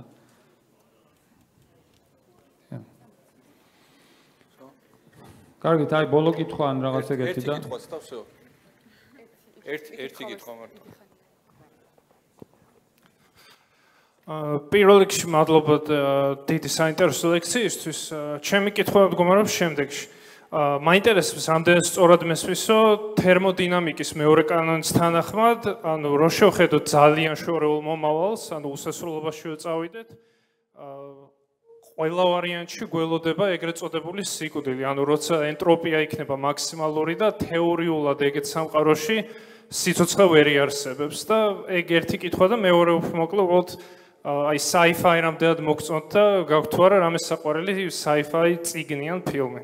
მადლობა. აი კი, ეგრეა, ხო, ანუ ყოველგვარი, ხო, თერმო მოკლედ ენტროპიის და რას ნიშნავს? ანუ ყოველთვის სისტემა მიისწრაფეს მაქსიმალური ვარიანტების იმ მდგომარეობისკენ, რომელსაც აქვს მაქსიმალური რაოდენობა ეგრეთ წოდებული მიკრომდგომარეობების. შესაბამისად, ეგრეა, ხო, ანუ ზუსტად იგივე ეს მატრიცის ამბავიც რო ავიღოთ. აი ეს ისეთი სამყარო, სადაც ჰორიზონტი უსასრულოდ ფართოვდება, ზუსტად ეგეთი სამყარო აღწევს იმ მდგომარეობას, როდესაც ენტროპია არის უსასრულობა. საბოლოო ჯამში ენტროპია გახდება უსასრულობა. ეხლა ეგ რა თქმა უნდა, ეგ მომენტი არის სამყაროს ენტროპია მთლიან, ანუ სამყარო გადავა იმ მდგომარეობაში, რომელსაც აქვს მაქსიმალური ენტროპია, ხო? აა სხვადასხვის ეს ესეთ რაღაცაა, რომ цаრიელ სივრცეს, აი საერთოდ რო გამოვრიცხო მე მთლიანად რა ქვია, ყველანაირი მატერია, აი წარმოვიდგინე რომ გავგავე სამყაროდან. მატერია გავგავე, ბნელი ბნელი ენერგიას გავგავე და დავტოვე ცარიელი სივრცე. ნუ მაგას თქვი ეგრეთ წოდებული მინკოვსკის სივრცე, მინკოვსკის ვაკუუმი. მას აი ამ ვაკუუმს აქვს ყველაზე მეტი ენტროპია. მას აქვს უსასრულო ენტროპია, იმიტომ რომ მას აქვს უსასრულო გადაგვარება, მაგრამ ესეთ როგორი გადაგვარებაა? რომლის ნებისმიერ გაზომვასაც უსასრულო დრო ჭირდება. ანუ უსასრულობებია წაღმაუკუღმა ყველაფერი. ხო და აა ხო, ასეთი მდგომარეობისკენ ასიმპტოტურად მივისწრაფით. მაგრამ რა თქმა უნდა, ეგ იმას არ ნიშნავს, რომ ჩვენი galaktikis შიგნით უცებ ჩვენ მაინც და მაინც გავნულდებით, ხო? ესე უცებ. ასიმპტოტურად ეგრეა, ხო, რომ ეს ეგი აღმოვაჩენთ ჩვენი მაგალითად კლასტერი ან ჩვენი galaktika ბოლო-ბოლო აღმოჩნდება ძალიან გაუხშოებულ სივრცეში. აა ხო, მან მე ხალხი სვავს უამრავ კითხვას, ანუ რას ნიშნავს? ანუ ეს არის გარდაუვალი ანუ ის რაც თქვი მე თავიდან აი შეიძლება თუ არა ცივილიზაცია მიარსებოს რამდენი ხანი ასე შემდეგ აა და ნუ ეხლა როგორ არის მაგაში ახლა აღარ შევალ, იმიტომ რომ მანდ არის მთელი რიგი წება საინტერესო იმის, მაგალითად შეიძლება თუ არა ეს სამყაროში პრინციპულად ცნობიერება მიარსებოს. ხო? ეხლა ცნობიერება თუ ხო გესმით როგორ არის? ცნობიერებას თუ უსასრულო დრო ჭირდება იმისთვის რომ იაზროვნოს, თითოეული ფიქრი გაიფიქროს. აი წარმოიდგინეთ ესე რაღაცა რაღაცა აი ტვინივით წარმოიდგინეთ რაღაც ნეირონული ქსელივით, რომელიც შედგება უსასრულო ტალღის სიგრძე, აი ძალიან დიდი ტალღის სიგრძის მქონე ნაზლაკებისგან. მაგალითად გრავიტონებისგან, ფოტონებისგან, ხო? ე ასე ტვინ შეუძლია აზროვნება პრინციპში. მაგრამ უსასრულო დრო ჭირდება. მაგრამ მე რა იმას საერთოდ არ ადარდებს ეგ ამბავი. უსასრულო დრო რო ჭირდება, იმისთვის უსასრულო არაფერი არ არის. ის არის ერთი ერთი აქტი აზროვნების იყოს უსასრულობა. მე რა ანუ შეიძლება რაღაც ეგეთები წარმოიდგინოთ. ამიტომ მანდ ახლა იქ მაგკითხვას რო პასუხი გაეცეს, ჯერ უნდა ჩვენ გავერგოთ ბოლომდე ცნობიერება რა არის, როგორ წარმოიშვება ესეთი ტიპი, ну ასე შემდეგ რა. ძალიან საინტერესო კითხვებია. ო, sci-fi. კი, sci-fi. sci-fi კი, როგორ არის? ну, ძალიან მიყვარს, რა თქმა უნდა, არის სერიოზული სერიოზულები. ну, ახლა sci-fi-ს მე ესე უყურებ, როგორც ეს ეს არის ჩარჩო, სადაც მე რაღაცა ადამიანური დრამები და ძირთად ყველაზე საინტერესო ეს არის ისევ ადამიანური მომენტი ამის შიგნით. ეხლა იქ რა თქმა უნდა მეცნიერული მეცნიერული თვალსაზრისით უამრავი ნაკლი შეგიძლია თუ პოვოთ ეხლა sci-fi-ს იმებს, მაგრამ მათ sci-fi-ს არ მოეთხოვება რომ იყოს მეცნიერულად ზუსტი, მისთვის ეს არის უფრო ჩარჩო, სადაც ადამიანური რაღაცა ადამიანური მომენტები თამაშდება უფრო ეს ადამიანური კითხვები და ადამიანური დრამა და რა ვიცი იგივე 1000 რაღაცა რა. ანუ ჩვენი როლი იგივე რწმენის საკითხები ნუ უამრავი რაღაც. ასე რომ ხო ბევრია ესეც საინტერესო არ ვიცი ჩამოთვლას არა გაზრი მაგრამ ბევრია სერიოზული სერიოზული ესეთი მწერალი რომელიც კი ძალიან საინტერესოა. პადონო არა შეიძლება შეიძლება ტოპი იყოს და დამავიწყდეს მაგრამ ნუ არის ბევრი საინტერესო ხა მაგალითად დავუშვათ იგივე თქვათ დავუშვათ მაგალითს მოვიყვან ანუ ტოპს დავანებოთ თავი. ნუ აი მაგალითად დავუშვათ ეგეთი მაგალითი ესეთი როდესაც sci-fi ქმნის ჩარჩოს და შიგნით შემდეგ აი სრულიად ადამიანური და ესეთ დრამა თამაშდება. ნუ მაგალითად არის სოლარისი სტანისლავ ლემის სოლარისი სადაც ნუ ალბათ გინახე. ნუ ფილმიც იყო ტარკოვსკის ფილმია გადაღებული. ნუ ძალიან ნუ ძალიან თავისებურად და ისე არ გადაწყვეტილი. დაუშვა და ეგ ნუ მეორე რა ვიცი თქვა არის ესეთი შეკლი რომელსაც აქვს ძალიან საინტერესო რაღაცა მომენტები დაუშვა ეგეთი. რა ვიცი ნუ ბევრი არიან ძალიან ეხლა ჩამოთვლა და ნუ რავი რეი ბრედბერი ასე შემდეგ. ნუ არ არ დავიწყებ ჩამოთვლას იმიტომ რომ იმდენი არიან ეგ სულ ყველა არის ძალიან მაგარი და იქ ჩემთვის არ არის ესეთ რომ ტოპ 3 და მე დანარჩენი არა ყველა მაგარია ეგ ძალიან დიდი დიდი ჯგუფია ძალიან მაგარი წერლების. კარგით დაუნტავით